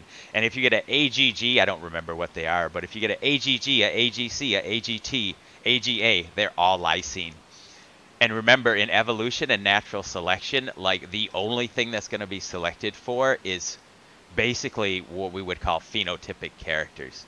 Okay. So what your hair color, your eye color, if you're camouflaged and you survive better, like that's a phenotype. And right. that came from a protein, but again, you're back to the, the genotype and the environmental conditions and all of that kind right. of stuff. But natural selection is not what we do in the cube world, right? No, we, we very, do the opposite. we almost do the opposite. Exactly. We give you, you know, the Gucci substrate. We give you the distilled water. Yes, we. I mean, and and when I, I talk about throwing MPG plus in the mix, people go, "Why would you do that?" That's. I know, man. Right. I'm but out in the my... wild, it's just like toxic chemicals seeping through the rocks. Yeah, all, exactly. I mean, it's a it's a wild world out there that all these fungi. Yeah. Hot sun. Yes, and yet maybe somehow, a little bit of water, horse poop, and hot sun, and some half-digested straw. Yeah. Yeah, I'm looking at my bottle of like azomite and erythritol, and I'm like, man, these high so mushrooms, they eat better than me. Why am I buying? right. I'm buying their food, and meanwhile I'm at 7-Eleven buying hot dogs on a stick. Yeah, exactly. That's all. They've taken over my house. They've taken over my fridge. yep. My electric bill. oh, dude. I got some guys on the Discord talking about buying autoclaves and stuff like that, and then they start talking oh. about what their bill or Bubba barrels, talking about what their bill, their yeah. electric bills look like, and all that. And I'm just like, uh, yeah, it gets expensive real fast. Yeah, I asked somebody I wanted to get for my New Year's a 75X, you know, all American. They yeah. sell them here, but they're about a, about twelve hundred dollars, I think, maybe maybe even more. And I asked somebody about the electric bill, and they didn't they didn't know, but I imagine it's uh it's the electric stereo clave version, you know, with oh, the right. fancy dials yeah. and stuff yeah. at the bottom. I got a couple pressure cookers that cost me like fifty bucks here, but that's right. uh I don't know, maybe maybe not quite yet. I'm a little bit worried about the electric Gas is cheaper for me, so I'm oh, I'm good with gas.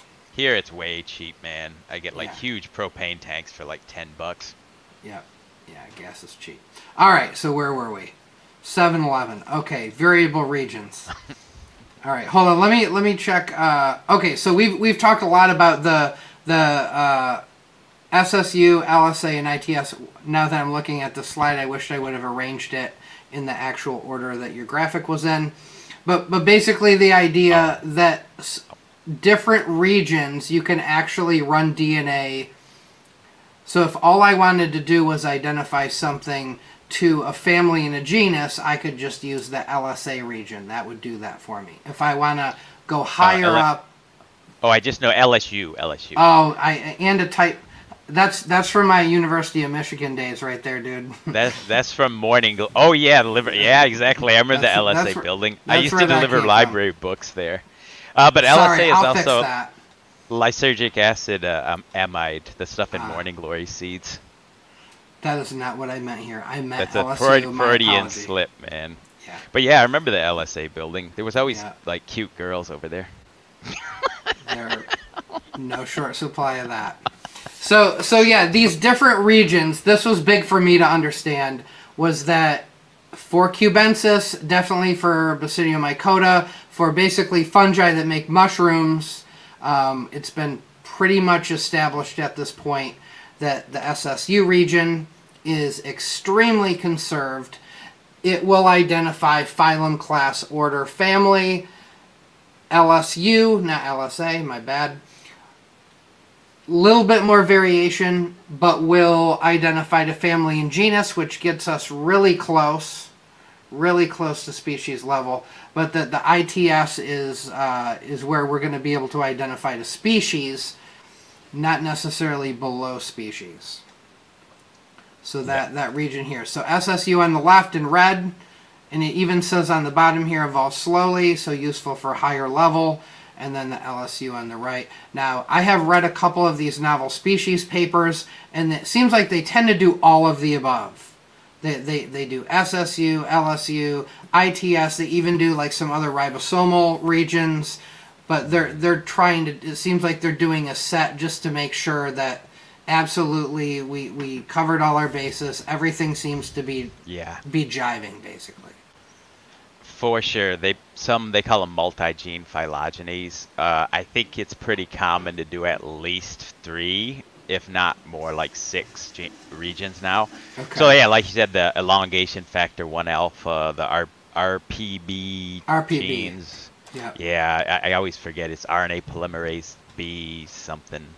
Uh, and also, um, I saw some people doing that TEF, something like yes, I saw that once and there's a, there's other ones. People come up with new ones all the time. The idea is that if you're doing um, later work, you wanna. It's kind of easy if you've got the primers and you try to. A strange practical reason you try to design primers that'll anneal at roughly the same temperature, so you can do the same thermocycler right. program. Like so, that's what that's kind of the practical reason they've designed these things uh, for the TEF and for the RPB, so you don't really have to mess with your thermocycle program. Right. Um, so that you can do, uh, you basically get a DNA extraction, and well one is ITS, well two is SSU, well three is LSU, well four is T. Yeah, right. well fives, RPB2, whatever. It's like that's the way they do it. Um, so you end up with this enormous amount of data that takes you like years to process. Right. so then you get you're back to the conserved variable, and then you smash them all together, and hopefully, uh, so so you get what's sometimes referred to as a multi multi-gene phylogeny, basically. Um, so smashing them back together is a little and aligning them. Uh, you haven't quite got there yet, but when aligning DNA sequences is a little bit tricky because you'll have practical things. Um, if, if you're if you're sequencing from a dikaryon, you can get double peaks, and then you got to pick one or the other. Uh, sometimes there's just practical issues that the the DNA won't be as good and, and nice and clean as you would expect it to be. Okay. Uh, and you might get ambiguity in your sequence. So when you see it on GenBank, you just see ACGTs, and sometimes there's what's called an ambiguity code where you'll see like other weird things like a R or X or a G. um. Sure. That is a problem when you're doing the actual mechanics of the of the alignment as well as the the analysis of the sequences that's where it gets really deep, and that's where a lot of biologists are going now. Um, is is the the analytics, kind of the the actual what they call the the systematics and the the phylogenetics is is almost like like the way things are related to each other is almost like a side note for some people. They're more interested in the mathematical like analysis oh, of the yeah. sequence I've, data. I've, I, I've found when going through papers, some papers where I'm like, yeah, this is like for the computer science people. Yeah, I'm not exactly. even into this at all. It's too far removed from the mushroom for me. Totally. Yeah, like yeah. the one of the papers that I'm sure a lot of people have seen. 90% of the paper is is uh, where they isolated genomic DNA from spores for one, uh, and two, it's like 90% of the papers about their analysis of the the WGS paper. There's a couple right, okay. of them now. Yeah but they's like the, it's all about their mathematical techniques and the algorithms they use for this and that. And that that's that's like i don't know it's not very interesting to me to be honest. That's for the big pharma people. They're you. trying to pull out regions that they can patent and they can be like this is our chromosome. Like you can't do anything with it. Like we own the you know base pair 246 to 984 and we own it. And that's what they're right. trying to do and and we're obviously not so about that. so we're not the only community trying to own nature everybody's yeah. trying to own nature um, okay but they've got like billions of dollars in patent lawyers you know we uh, and we don't yes Vend- All right. vendors on so i'm there's a dense slide i i I want to go over some of the. Uh, I want you to go over some of these terms here, but just real quick. Um, lately we've been talking a lot about interspecies hybrids. Um, you know, gnats cross with something else, and uh, down the road we'll we'll get a little more into the whole natalensis debate once once we get everybody kind of up to speed about some stuff. But just to begin with, I still struggle and have to sometimes pause and go, okay, right now, do I mean interspecific? Okay, interspecific, yes, across species, two different species. Okay, intra-specific, and I came up with something the other day. I think I'm really, I'm really proud of myself for this. So the internet is all oh, over yeah. the place, right? Internet all over, connecting multiple things. But if you work for a private corporation, they will have an intranet, and that's the that's the yeah. the network within the company. So if if you're worked in a company that had an intranet versus the internet, that that might be a quick way to, to know that when you're talking about intraspecific, you're talking within a species, interspecific, two different species, and then infraspecific, I don't e- even know why I included this, to be quite honest. Uh, uh, nobody really uses, unless you're getting into like orchid breeding and stuff like that. People don't really use infraspecific that often. Okay, my bad. I rarely hear it. It's it. No, it's good to put it on there, but um, if people want to remember too, just the inter and intra, like the internet example you used, that's perfect. Okay. Infra is where like you're talking about things like really really specific like orchid breeders and stuff they've got a whole different terminology too i don't i don't think people need to really worry about infra okay, okay forget infra yeah All right, so let's go back to this. These were some of the topics you wanted to cover.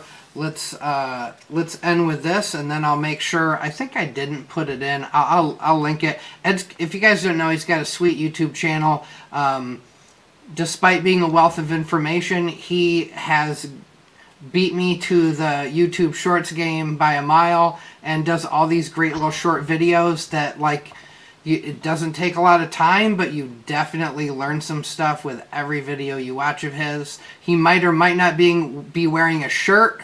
He might or might not drop things. Um, both of those things happen frequently.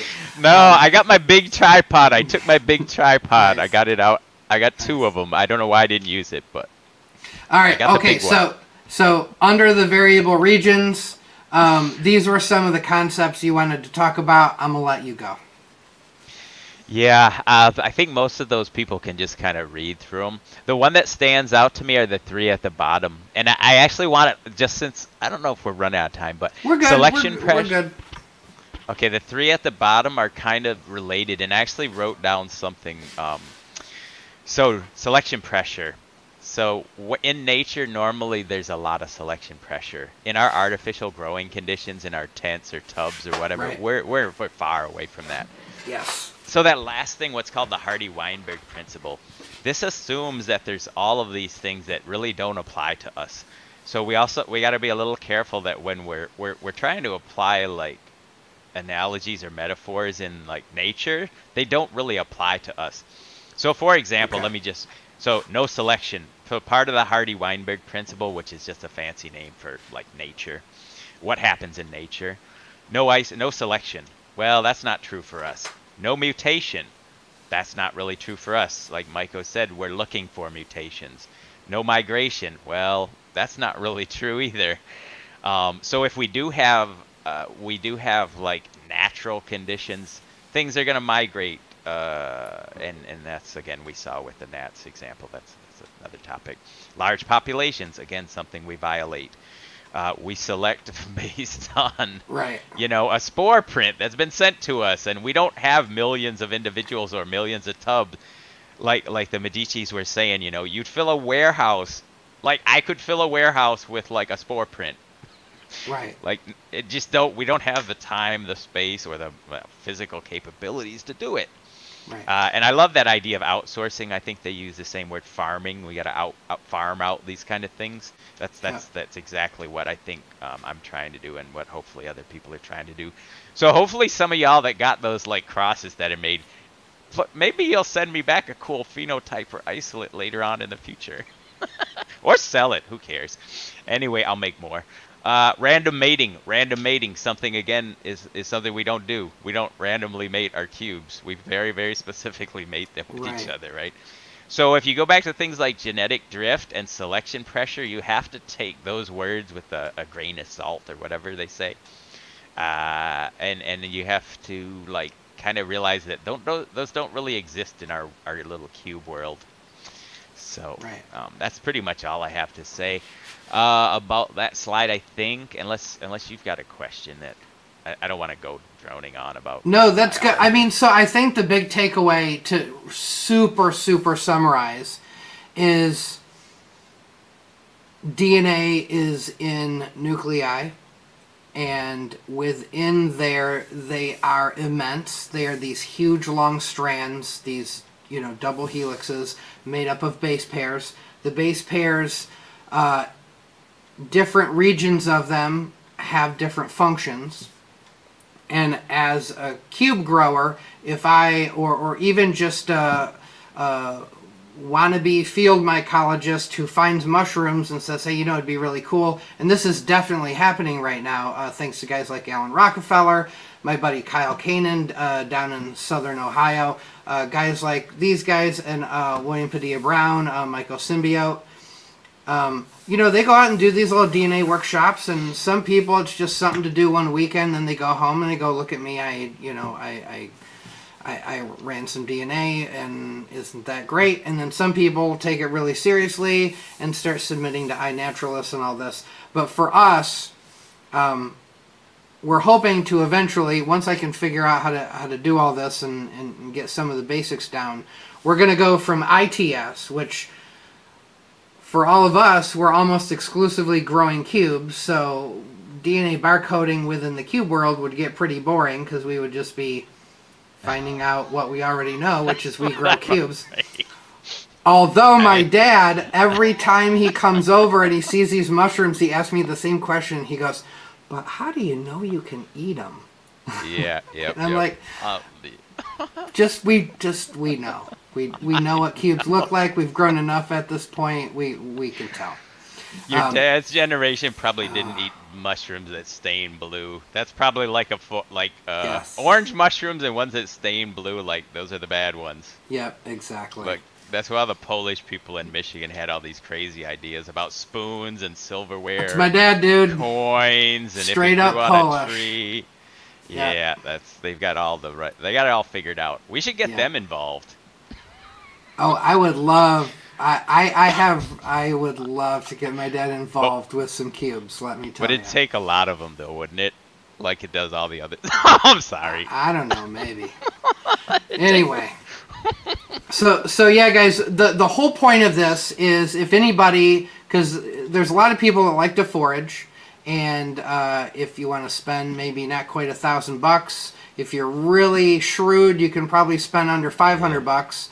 Um, you could actually be sending in, all you got to do is make sure that you've extracted the DNA, right? You can send it into a place, and for honestly not a crazy amount of money, you, you, you can get the stuff sequenced, and then you can submit it, and you can find out what the hell you got.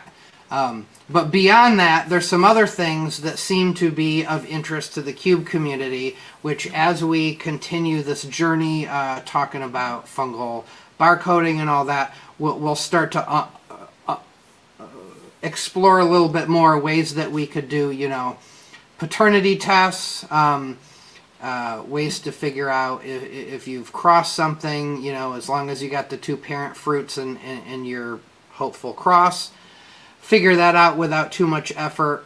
Um, and then even maybe play a little bit of a role eventually in building up a, a, a phylogenetic understanding of where all these different cultigens came from and and, and building some of that stuff up. That's like a more long term vision. Ed's already gone, how the fuck are we gonna do all that? But uh, I, I'm optimistic. Yeah, he just um, gave me a, a new idea. Yeah, I'll tell Sweet. you about it later. Sweet. All right, but anyway, it's exciting, and we're doing all this because, just like the Midichees talked about, you know, you can't, you can try to do all the work yourself, but you really just can't do all the work yourself. Um, there i think when, when it comes to mushroom genetics in our community there's some exciting things we could do and man if we had 10 or 20 people as interested in this stuff as we were it would be amazing so we're hoping that this inspires some people to get more into this read some more papers watch some more youtube videos um, you know maybe even grab a, a textbook somewhere uh, you know whether you pay for it or not that's on you um, and just start learning some more stuff um, we, we have several channels in the Discord where we talk about some of this. We share papers. Um, of course, we still talk about potency a lot, um, but we're hoping to get into a little more sophisticated discussion about um, just just some new information that people seem to want, and, and we don't have a good way of figuring it out just yet, but hopefully we will. Right, Ed? Yeah, we. So I hope so. I, I really um I have to like this why my brain is like buzzing now. I don't know, not because I ate some babies. Um, like every time I think I have to purposely now turn off my brain by going to talk to like people about right. What, I don't know what they did in the day because and I, I my brain is constantly every time I get on on social media or the Discord, like five new ideas and I write yeah. them down. You guys, I'm one of those post-it like people because it gets to be so overwhelming uh, that like I can't uh, like I, I don't you can't see it. I'm not going to show you, but I've got like a I'm one of those people with the post-its on the wall. I consolidate them. Ed's got that crazy, you know, when the moment in the movie where you discover someone's crazy because they have like 40 million pictures on the wall. It's that's not that the, bad. That's nah, I don't know. I it's like tw- it's like 20 to 30 of them. But some of them are oh, about other topics. not, not, too, bad. bad. It's work stuff. Nice. All right, guys. So uh, next week, um, I have uh, one of my favorite guys. He's super nice. Been growing mushrooms for 24 years. That's all. He grows in a lot of bags. He knows what he's doing. We're going to have Whitebeard on. Um, Ed's going to be back. We're going to actually get into some of the um, some of the see Ed's already salivating at, the, just the I dropped yeah, the name Whitebeard and we're ready to go. Yeah, um, I've been chatting with him a lot. Yeah, he's a nice guy. He's yeah. he's cool. Um, so he's I think it's called Sailing the Seven Seas of Mycology with Whitebeard. Uh, it's going to be a good one, and uh, we're gonna you know keep talking about ethics. We're gonna keep uh, hopefully. Um, I actually don't have anybody for the Behind the Veil for next week. I'm going to keep scrambling. I usually pull it together. Um, and then Ed's going to be back, and we're going to actually get into uh, some of the specifics about how you identify mushrooms to species. Um, and just continue this conversation, link some of the, the articles that would be like kind of a foundational article of understanding to have. And then eventually we'll be moving into what gear you need, how you do it, what the process is, and I'm hoping as I go through this process myself, Ed's going to give me some of the tricks of the trade and so, some ways of thinking about things. So you guys are going to watch me learn, uh, you know, in real time, so to speak. So. Yeah, I'm really I'm really looking yeah. forward to that because you got I I've done like thousands of PCRs and I know it's a pain. If you think getting your substrate and your your FAE correct right. is a problem. Wait till you start doing PCR reactions. Right. yeah. It's easy yeah. in theory, but there's a lot of little tweaks. Tweaks. Yeah, it's uh, what I've noticed just being in a couple of the Facebook groups. It's like as long as it's going great, it's great. And then if yeah. something isn't quite exactly. lining up, then you need help. And yeah. so hopefully uh, we'll, we'll, get that help that we need. So.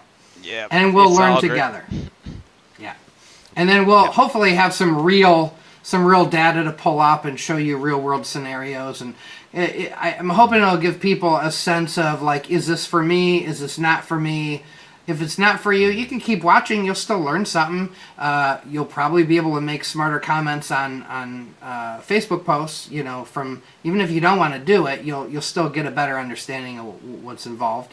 And if it does excite you, you go, "Holy crap! I think Kiki's got me." buying a freaking thermocycler off eBay now. What what am I getting myself into?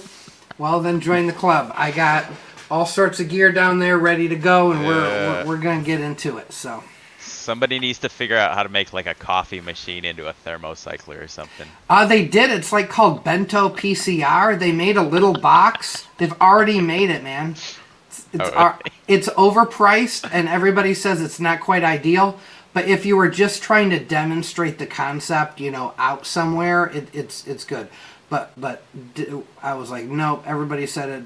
Centrifuge is not quite right. Electrophoresis machine is not not quite good enough. Yeah. So I'm like, I'm just gonna just gonna buy some halfway it's decent fairly, stuff.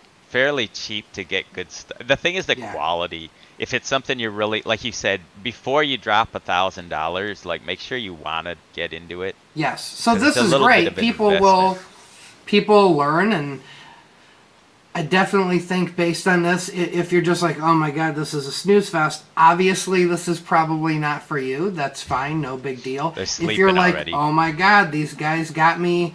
I, we've only dropped one viewer, dude, since we started. We're doing great. Oh, nice. It's all good. Everybody's okay. listening. I'll take my shirt off next time. There you go. That's that's all it'll take. Look at those substrate guns. Dude, that Can was I me. show a nip? That was me pouring agar last night. I was like, "Yeah, get the flax." My friends the other day, they were like, "Why are your forearms so big?" I'm looking like pouring Popeye agar, here, dude. squeezing substrate. Like, yeah, field capacity, bitch. Taking out my anger on my uh... fucking car. Yeah, take that. like Vin Diesel or something. Throwing tubs around. Fuck you, I'll wash you later. I'm too tired to wash you. Oh my okay. god. Okay, I need to stop. Nope. All right, Kaz. I definitely look more like Bert Kreischer than Ed does, but I like where your head's at. Oh my god! All right, guys. For all you who stuck in there, you got a little treat at the end, a little wild and crazy. It's, you know, it's like uh, when you were a teenager, you're at a sleepover and it got uh. turned two two a.m. and then everybody just got ridiculous. Yeah. That's where we're at. Tired. All right, guys. Next week it's gonna be fun. Thanks, Ed. Um, all right, uh, man. I'll for, see you for guys. this journey. Yep. Take care. All right, guys. Appreciate you sticking uh, with us. We went a little long tonight. It happens. Um, next week, sailing the seven seas of mycology with Whitebeard, uh, one of my good friends, uh, and he knows what he's doing. So we're gonna take a listen to what he's all about. He also just started a YouTube channel as well. So uh, it's gonna be a good time, and, and we're gonna keep doing the DNA nerdy stuff. So stay tuned. Oh, like, comment, subscribe. I, sorry, everybody gives me a hard time about this. I mean, if you watch this and you're not subscribed, come on, man, just subscribe for me. It, it, it, if you can't like it, just like it. it. It helps the algorithm. It helps other people find this uh, this content and all that. I, I really appreciate it. All right, guys, and uh, remember, I got a Patreon. Uh, pretty impressed so far with the turnout. I'm, I'm working on doing a little uh, thank you video and I'll probably do a little title, title card at the end. Um, uh, really touched by how many people uh, seem to be in support of what we're trying to do here, so I appreciate it. All right, till next week, take care.